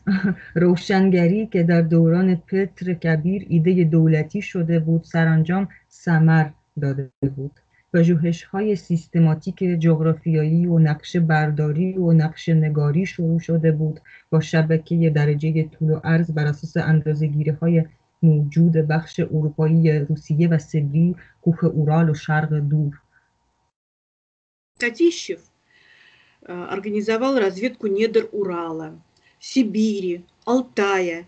Вопросами науки занимался и сам Петр I, который был избран почетным членом Парижской академии наук. Ну и птенцы гнезда Петрова. Это те люди, которых к себе, которые к э, приблизил Петр I. Они были не только э, таких э, дворянских, э, из, из дворянских истоков, но это были часто простые люди, которые показывали удивительные познания и такую деловую хватку. Птенцы гнезда Петрова. تاتیشف دانشمند اکتشاف مدنها و منابع اورال و سبری و آل... کوههای آلتای را راه انداخته بود هم خود پتر کبیر مشغول امور تحقیقی بود که به عنوان عضو افتخاری آکادمی علوم پاریس برگزیده شده بود. هم به اصطلاح جوجه های آشیانه پتر. این اصطلاحی برای دانشمندانی که پتر از اونها حمایت می‌کرد و در واقع جزو نزدیکان خود می‌دونست. و اونا لزوما آدم های اشرافی نبودن. می‌تونستن آدم های با استعدادی باشن که مثلا قبلا رعیت بودن. Ну, вот эти птенцы гнезда Петрова, Нартов. Нартов – личный лекарь царя. Он проектировал еще различные станки, механизмы, инструменты, приборы – Э, он основал механические мастерские Петербургской академии наук. Постников, выпускник Славяно-Греко-Латинской академии и Падуанского э, университета, врач и дипломат, который изучал по поручению Петра I работу учебных заведений во Франции, Англии, Германии и Голландии. از جمله اون جوجه های آشیانه پیوتر دانشمندان مورد حمایت پیوتر می شود به نارتف مثلا اشاره کرد نارتف طبیب شخصی تزار که علاوه بر شغل اصلی خود طراح دستگاه ها و مکانیزم ها و ابزار و آلات و آلات مختلفی بود و کارگاه های مکانیکی آکادمی علوم پترزبورگ را بنیان گذاشته بود. یا مثلا پوستنیکر فارغ و تحصیل آکادمی اسلاو یونانی لاتین و دانشگاه پادووا در ایتالیا پزشک و دیپلمات معروف که به دستور پتر کبیر کار دانشگاه ها و آموزشگاه های فرانسه و انگلیس و آلمان و هلند را بررسی می‌کرد. Ну вот еще имена. Киприанов. Он основал первую гражданскую типографию в Москве в 1705 году. Здесь печатались учебные наглядные пособия. Прокопович, деятельность которого носила такой очень разносторонний характер. Феофан Прокопович – талантливый публицист, писатель, проповедник. Э, прославился как поэт и драматург свойственной Петровской эпохи и головокружительной карьеры людей незнатного происхождения. یا مثلا کیپریانف بنیانگذار اولین چاپخانه غیر مذهبی در مسکو در سال 1705 که در آن کتابهای درسی چاپ میشد ابزار تصویری آموزش یا پروکاپوویچ که فعالیت مختلفی میکرد فیوفان پروکاپوویچ نویسنده و مقاله نویس و باعث به عنوان شاعر و نمایشنامه نویس هم معروف است کلا شخصیت های بی اصل و نسب که مقام و مقام و منزلت باور نکردنی پیدا کردن یکی از مشخصات قابل توجه دوران پتر کبیر است А, Галина Степановна, смотрю, нам там три с половиной минутки остается. Может, тогда про парки в следующий раз расскажем? Сколько остается? Уже, по-моему, три минутки остается нам. А мы не 18.30 заканчиваем? А вот у нас тут время показывает 1.50-57 уже сейчас будет. То есть мы можем про парки, например, отложить до следующего раза. То есть мы до 18 часов сегодня. Мне на часах да. без 10 Мне кажется, новую тему уже не успеем. Вот как раз мы до театра дошли, а вот театры и парки завтра тогда. Вы уверены? А я что-то думала, да, что да, да. сети. Ну, мы скажем о том, что Петр I очень мечтал об общедоступном театре. Вот. И э, уже в следующий раз мы будем как раз говорить о театре, о театре, о э, различных культурных поворотах, о садах, э, которые были организованы в этот период времени, ориентация, так, ориентации такие были у Петра I и Екатерины II. Э, такие очень значительные события происходили в XVIII веке. Они подготовили уже XIX век, XIX век, золотой век русской культуры. Галина Степановна, тут это мне Бехрус говорит, что у нас, оказывается, там около получаса еще есть. Есть ну, все-таки? Ну, давайте о театре расскажем. Ага, давайте сейчас я найду الان هنوز وقت داریم یک فکر میکنم نیم ساعتی وقت داریم من فکر کردم دیگه وقتمون تمام شد Петр Первый, я уже сказала, мечтал об общедоступном театре. Картинку театра не покажут, да? В северной столице действовали театры. Какие? Э, императорский театр Малого двора. Это великого князя Павла Петровича. Частный публичный театр Книппера Дмитровского. میتونید تصویر تئاتر رو ببینید که در واقع پتر اول همیشه آرزو داشت که تئاتر در روسیه قابل دسترس همگانی باشه. Театры Академии художеств, Шляхетского корпуса, Институты благородных девиц, در, در پترزبورگ پایتخت شمالی تئاتر سلطنتی و تئاتر در واقع دربار کوچک یا مال دور و تئاتر خصوصی عمومی کنیپر دمیتریفسکی فعال بودن. همونطور که تئاتر فرهنگستان هنر و تئاتر سپاه شلاختا یا سپاهیان نجیب زاده و تئاتر انستیتوی دوشزگان نجیب و غیره و غیره انواع تئاتر وجود داشت. یعنی در روسیه وقتی میگیم تئاتر منظور سالن تئاتر هم هست. По-прежнему процветала итальянская, немецкая, французская труппа, труппы. Успешно ставились драматургические оперные спектакли в любительских и крепостных театрах Нарышкина, Титова, Потемкина, Юсуповых, Шуваловых. نمایش های درام و اپرا در تئاترهای آماتور و تئاترهای سرواش در واقع دهقانان مادن ما مانند تئاتر ناریشکین و تیتوف و پاتیومکین و سالن‌های خاندان یوسوپوف و شووالوف با موفقیت بر روی صحنه می‌رفتند. Петербургские театры сосредотачивались в основном вокруг двора и резиденций придворных сановников, что придавало им особый вес в глазах зрителей и актеров. Многие спектакли были любительскими, но это отнюдь не определяло уровня э, спектаклей. Спектакли эти отличались и профессионализмом, и хорошим вкусом. سالن های تئاتر پترزبورگ اغلب دور کاخ تزار و اقامتگاه های مقامات بالای دربار متمرکز بودند که این امر در نگاه تماشاگران و بازیگران به این سالن ها وزن حتی بیشتری می آوزود. بسیاری از نمایش ها آماتوری بودند اما این به هیچ وجه به این معنی نیست که سطحشان پایین بود نمایش ها هم با سلیقه و هم بسیار حرفه‌ای کارگردانی شده بودند замечательный русский художник Левицкий создал целую серию знаменитых портретов, образов э, смолянок э, Института благородных девиц, которые постоянно ставили э, различные, различные пьесы и, и э, исполняли и мужские, и женские роли девицы. Очень интересные, э, пользовались большой популярностью в Санкт-Петербурге.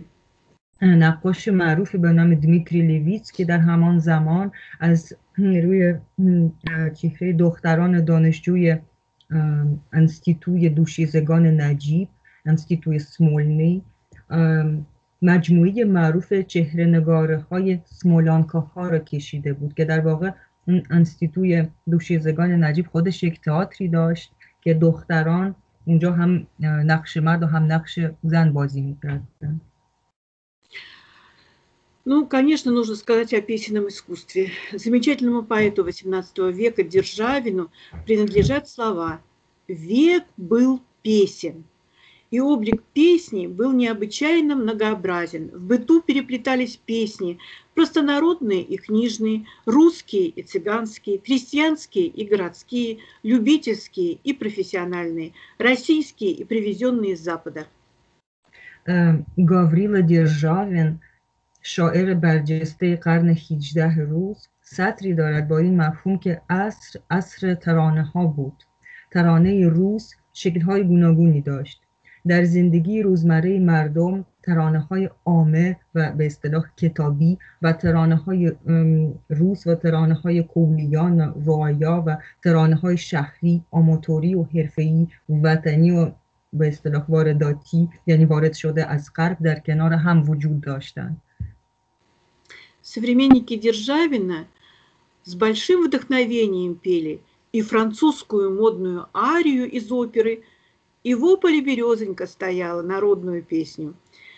В это время жил замечательный ученый, публицист, писатель Александр Николаевич Радищев. Он занимался музыкальным просветительством.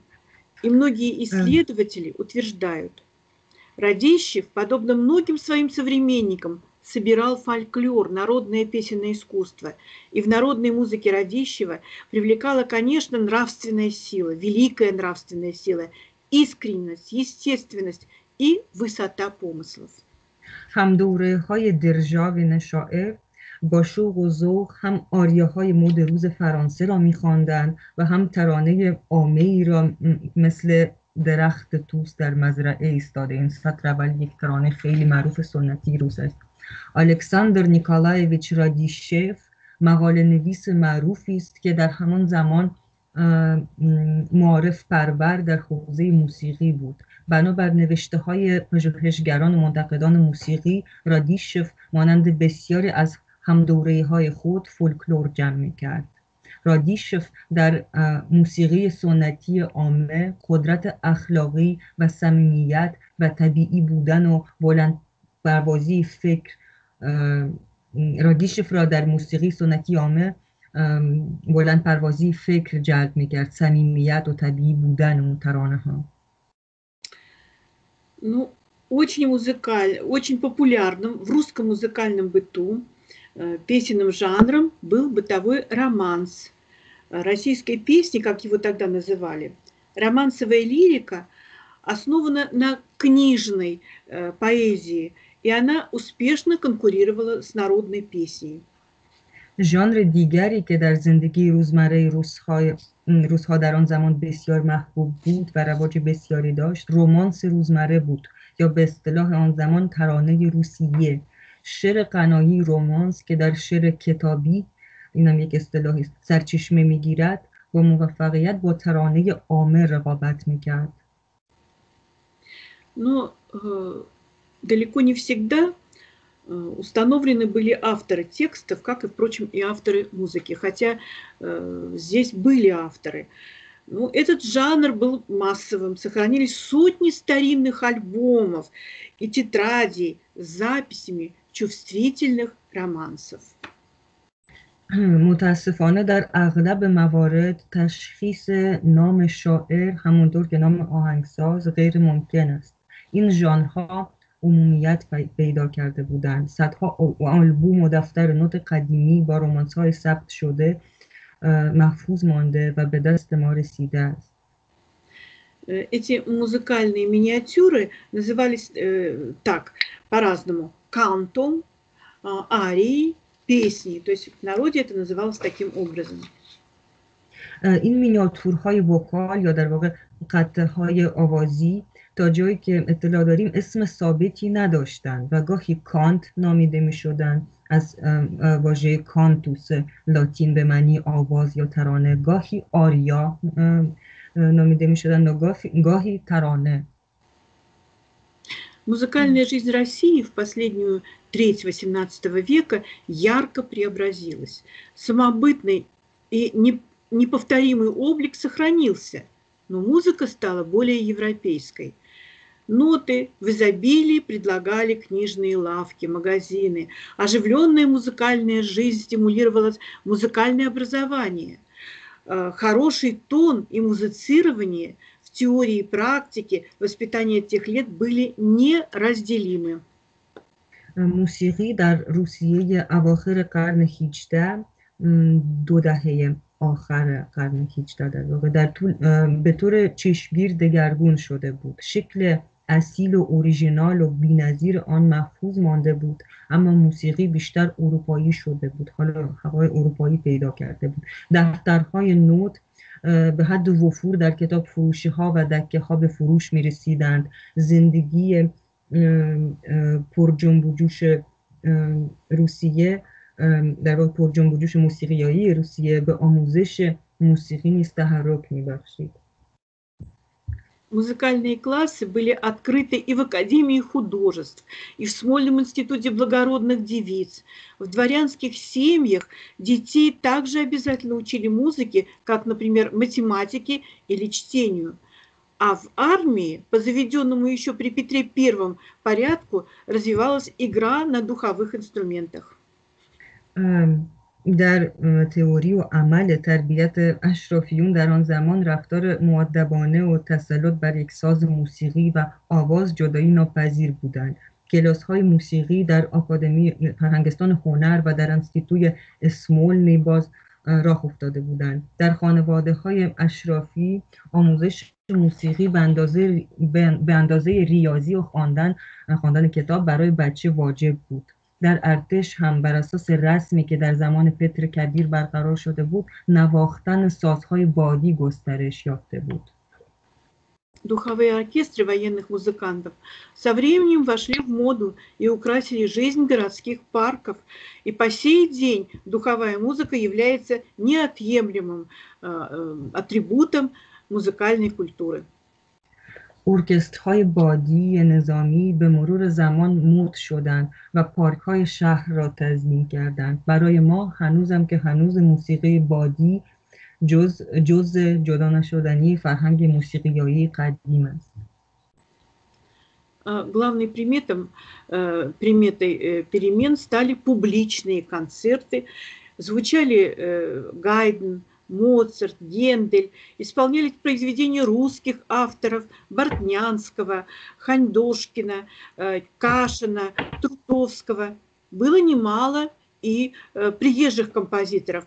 И каждый привозил свой репертуар, новую итальянскую, французскую, чешскую или немецкую музыку. کنسرت های عمومی یکی از ویژگی های اصلی تحولات در حوزه موسیقی آن زمان است. موسیقی هایدن موتزارت هندل و تلمان اجرا شد همانطور که کارهای آهنگسازان روس بارتنیانسکی خاندوشکین کاشین تروتوفسکی و دیگران. روسیه خودش خیلی اوقات میزبان آهنگسازان خارجی می‌شد و هر کدومشان ریپرتوار خودشون را همراه خود می آوردند موسیقی تازه ایتالیایی یا فرانسه یا چک و آلمانی И все же главным источником формирования музыкальных вкусов россиян было домашнее музицирование. Любовь к музыке – прекрасный повод для общения. Приметой времени становятся разнообразные кружки, которые объединяли людей по интересам. Музыкальное общество, музыкальный клуб, музыкальная академия, так как только не называли любители музыки свои дружеские объединения. اما بدون شک مهمترین منبع شکلگیری سلایق موسیقیایی روزها نواختن و ساز نواختن و آواز خواندن در خانه است یعنی آواز خواندن خانگی عشق به موسیقی بهانه درخشانی برای معاشرت. یکی از علایم تازه این زمان محافل مختلفی هستند که در ارتباط به علایق آنها رو کنار مردم رو کنار هم جمع می‌کردن. انجمن موسیقی باشگاه موسیقی آکادمی موسیقی این اتحادیه های کوچیک و محافل کوچیک و انجمن ها عنوان های مختلفی داشتند собирались в каком-нибудь хлебосольном доме ради общей страсти к музицированию. И такие музыкальные кружки отчасти заменяли в России филармонию, основанную лишь в XIX веке. آدم ها در یک خانه مهمان نواز به خاطر اشتیاق مشترکشان به موسیقی و آواز و ساز نواختن جمع می شدن و لذت می بردن. چنین انجامن های خانگی در روسیه تا حدی جایگزین فیلارمونی اروپایی می شدن که فقط در قرن 19 در روسیه تأسیس شد. В 1772 году В Петербурге образовалось Петербургское музыкальное общество. Это был первый музыкальный клуб, объединивший музыкальных профессионалов и любителей. Кризис этой деятельности клуба наступил в 1777 году, когда из-за экономических неурядиц концерты пришлось прекратить. در سال 1772 در پترزبورگ انجمن موسیقی پترزبورگ تشکیل شده بود اولین باشگاه موسیقی که نوازندگان حرفه‌ای و نوازندگان آماتور را متحد کرده بود در سال 1777 باشگاه با متاسفانه با بحران شدیدی روبرو شد و ناگزیر شد به علت مشکلات اقتصادی کنسرت ها را متوقف کنند. Вскоре на его базе возникло новое Э, творческое объединение, которое так и назвали «Новое музыкальное общество». И на основе его родилось филармоническое общество. خیلی زود اما بر پایه های اون انجمن اتحادیه جدید هنری شکل گرفت که نامش را گذاشتند انجمن جدید موسیقی و بر اساس آن دیرتر انجمن فیلارمونی به وجود آمد. Э, ориентация на западные образцы отличала и архитектуру Петровского Санкт-Петербурга, картинка Санкт-Петербурга XVIII века.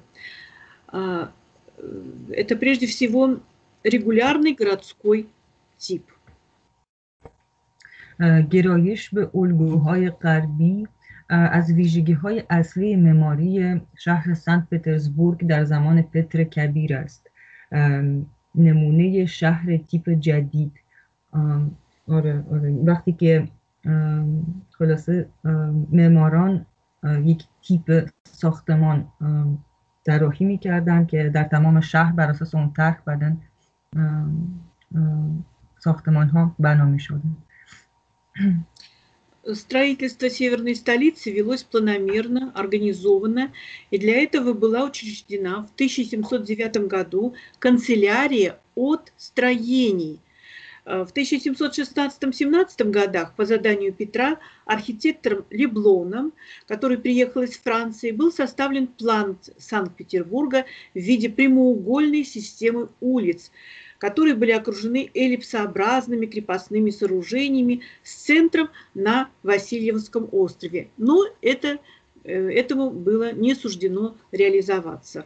ساخت و ساز پایتخت شمالی سن پترزبورگ طبق برنامه و با نظم و ترتیب انجام می شد. برای این کار در سال 1709 دفتر شهرداری تأسیس شده بود که مسئول ساخت و ساز در سن پترزبورگ بود.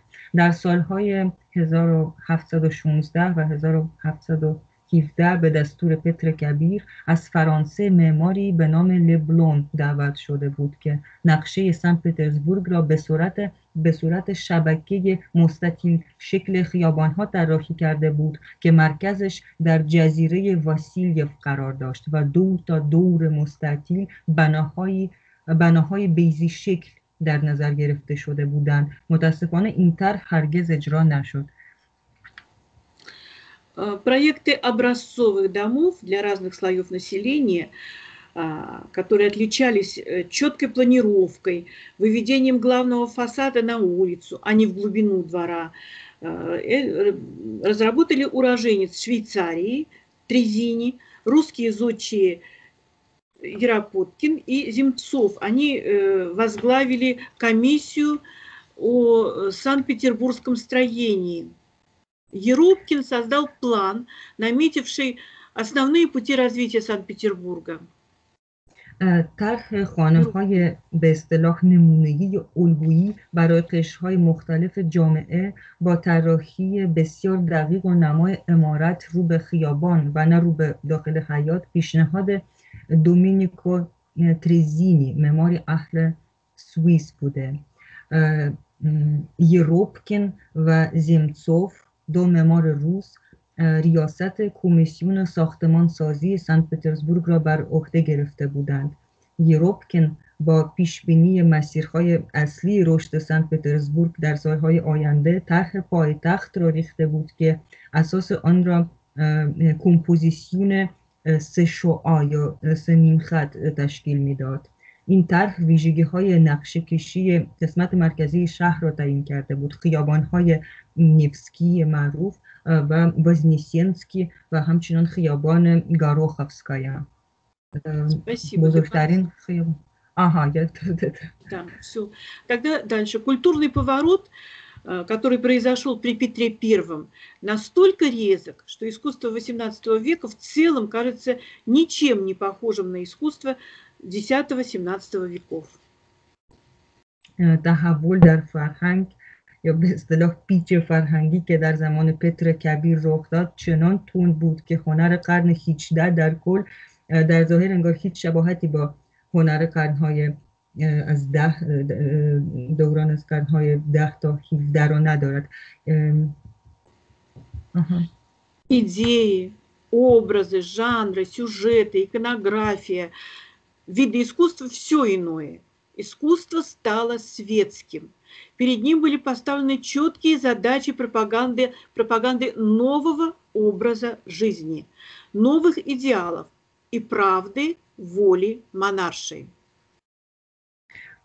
ایده ها و تصاویر و ژان ها و سوژه ها و پلات ها پیرنگ ها و شمایل نگاری و شاخه ها هنر همه چیز دیگه متفاوت شد. هنر غیر مذهبی شده بود. در برابر هنر جدید در برابر اهداف واضح تبلیغ شیوه جدید زندگی قرار گرفته بود تبلیغ ایدیال های جدید و به اصطلاح حقیقت اراده پادشاه Продолжает развиваться стиль барокко в России. همچنان سبک رشد سبک باروک در روسیه ادامه پیدا میکنه Барокко в переводе с итальянского, как мы все помним, означает «вычурный». Есть и другие переводы – «жемчужина неправильной формы». И вот эта неправильность этой жемчужины породила самые разнообразные творческие открытия.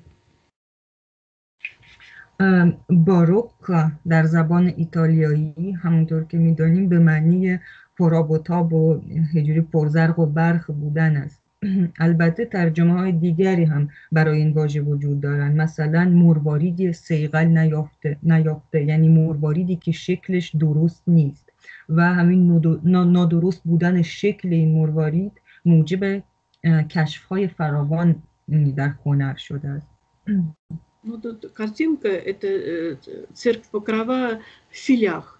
Фили – это… در تصویر میتونید کلیسای معروف پاکراوا در منطقه فیلی مسکو رو ببینید. Да, филя.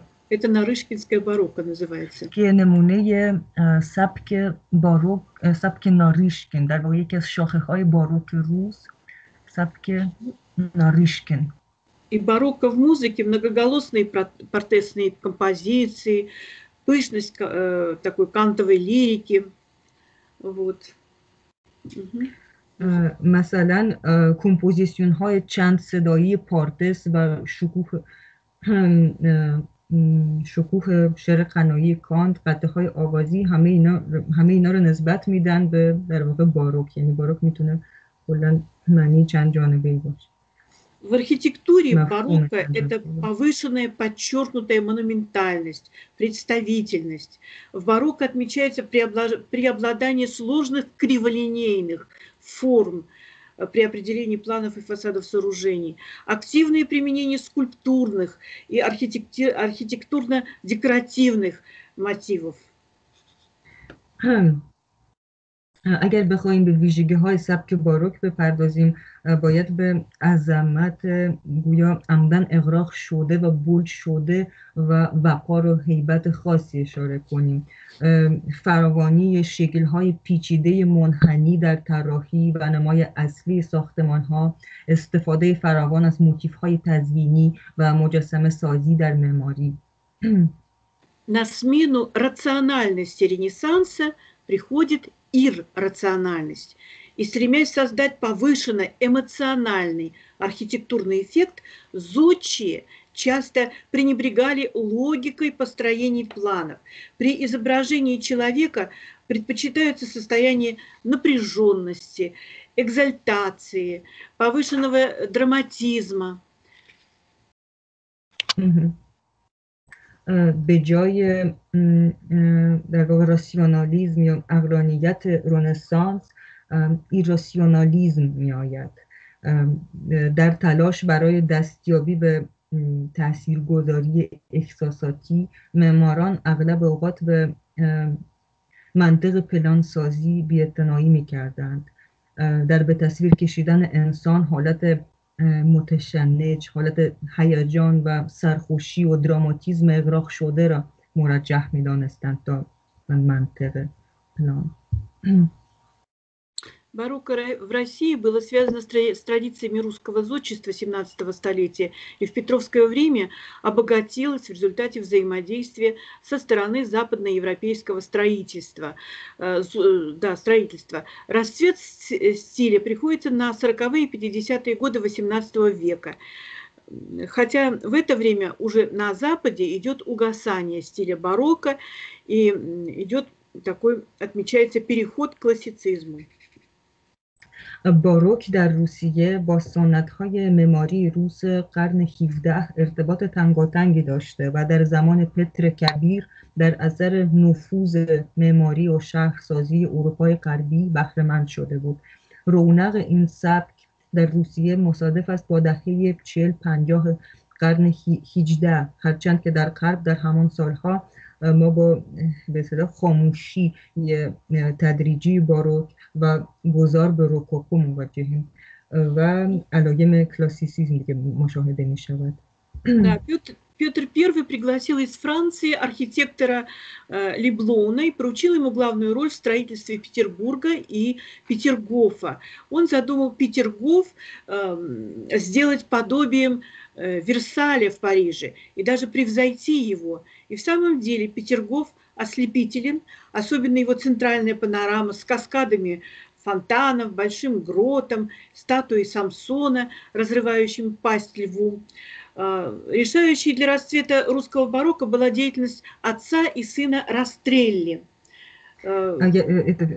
сейчас переведу پتر کبیر از فرانسه معماری را به نام لبلون دعوت کرده بود و به او سپرده بود نقش اول را در ساخت و ساز پترزبورگ و پترگوف بر عهده بگیرد پتر کبیر میخواست پترزبورگ را تبدیل کند به چیز شبیه ورسای ورسای فرانسه و حتی از آن جلو بزند و حقیقتا کاخ پترگوف هم باغ دوره پترگوف هم خود کاخ پترگوف حیرت انگیز است به خصوص پانورام اصلی آن. با فواره های آبشار مانند و قارهای دستساز که در واقع تالارهای زیر آبشارها هستند و مجسمه معروف سامسون در حال دریدن دهان شیر.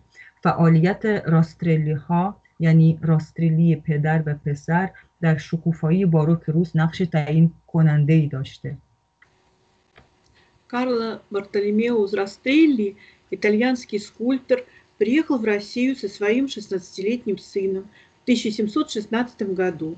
Старший Растрелли участвовал в декоративном оформлении Петергофа, проектировал триумфальный столб, но самое лучшее, что он сделал, это скульптурный портрет Петра I и статуя императрицы Анны Иоанновны с рабчонком.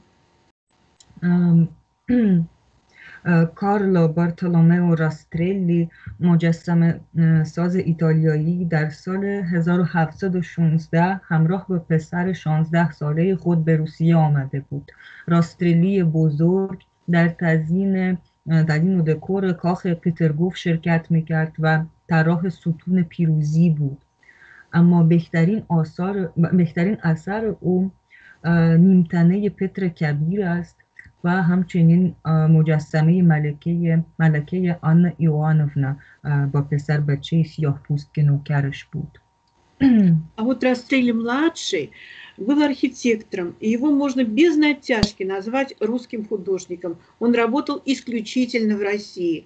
Лучшие образцы э, великого зодчего Растрелли-младшего – Большой Царскосельский дворец, Зимний дворец, э, дом Строганова на берегу э, Невы, дом Смольного монастыря.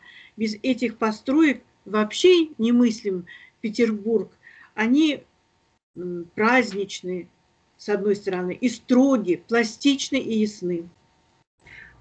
راسترلی پسر اما خودش معمار بود و می شود او را بدون هیچ اغراق یک هنرمند روس دانست او فقط در روسیه کار کرده از درخشانترین آثار این معمار بزرگ می شود به کاخ بزرگ ترسکوسیلسکی و کاخ زیمنی اشاره کرد همانطور که به خانه ستراگانف در کنار رود نوا و همچنین بنای صومعه اسمولنی بدون این ساختمان ها پترزبورگ غیر قابل تصور است این شاهکارهای معماری هم شاد و هم جدی هستند پلاستیسیته دارند و ساده و روشنند در این حال В Москве работал талантливый э, архитектор Ухтомский. И вот москвичи старые москвичи, они еще помнят внушительную триумфальную арку, которая называлась так «Красные ворота». Сейчас метро называется, по-моему, остановка «Красные uh-huh. ворота». И вот теперь, к сожалению, эту самую триумфальную арку снесли. Ее нет. Ага. Ага, Галина там Бехрус мне пишет, что надо потихоньку нам э, э, уже заканчивать, потому что там, по-моему, 4 минуты осталось, еще речь э, заключительно надо сказать. Э, угу. Так, در مسکو معمار معمار сейчас я переведу это در مسکو معمار با استعدادی کار میکرد به نام اوختومسکی مسکو نشنان مخانزاد هنوزم تاق پیروزی پرهیبت ساخت اوختومسکی را به خاطر دارند دروازه سرخی را که متاسفانه مدتی که کوبیدندش حالا فکر میکنم باید کم کم Великолепно работал Художник Антропов. Очень трагична судьба архитектора Баженова. И мы знаем его Пашков дом, где ныне размещается в Москве Государственная национальная библиотека. Ага. Галина Степановна, закончим, а то сейчас я переведу это, а то Бехрус говорит, уже сейчас расходиться начинает. Ага. در میان بزرگان نگاری روس آن زمان معمولا اسم الکسی آنتروپوف را میارند که به حق هم هست. پورتری رسمی پتر کبیر به شیوه پورتری با شکوه باروک کشیده شده است که نقاش با دست باز همه جواهرات و روپوش پادشاه را به تصویر کشیده. اما خود پورتره تصویر یک آدم نه چندان باهوشی است که با بدن ماهی که بدن ماهی و پاهای نازکی دارد دوستان عزیز فکر می‌کنم باید دیگه اینجا تموم کنیم و حالا یک بخش کوچیکی مونده از لکچر دوم اونو دیگه میاندازیم برای فردا. خیلی ممنونیم از حوصلتون خیلی خسته نباشید. برای امروز دیگه خدافیزی میکنیم از شما فقط یادآوری کنم یک لحظه که فردا باز لطفا یک رو قبل از جلسهمون برید توی اکانتتون تو دانابی و لینک جدیدی رو پیدا کنید و لینک جدید جلسه سوممون رو چون لطفا توجه کنید که لینک هر بار عوض میشه یعنی لینک امروز دیگه غیر فعال میشه فردا خیلی ممنونیم باز از صبر و حوصلتون Галина Степановна, хотите что-нибудь сказать? Я хочу сказать большое спасибо за внимание. از توجهتون خیلی ممنونم. Да, спасибо большое за внимание. Я желаю вам всего самого доброго. Завтра хорошего, доброго, замечательного дня. И надеюсь, что завтра я с вами встречусь. Завтра тема 19 فردا موضوع جالبی داریم قرن 19 روز آره امیدوارم باز فردا همدیگر اونجا ملاقات کنیم. دوستان عزیز باز خیلی ممنون. خدافزی می‌کنیم از شما. خدافز خدا نگهدار. دسیدنی دسیدنی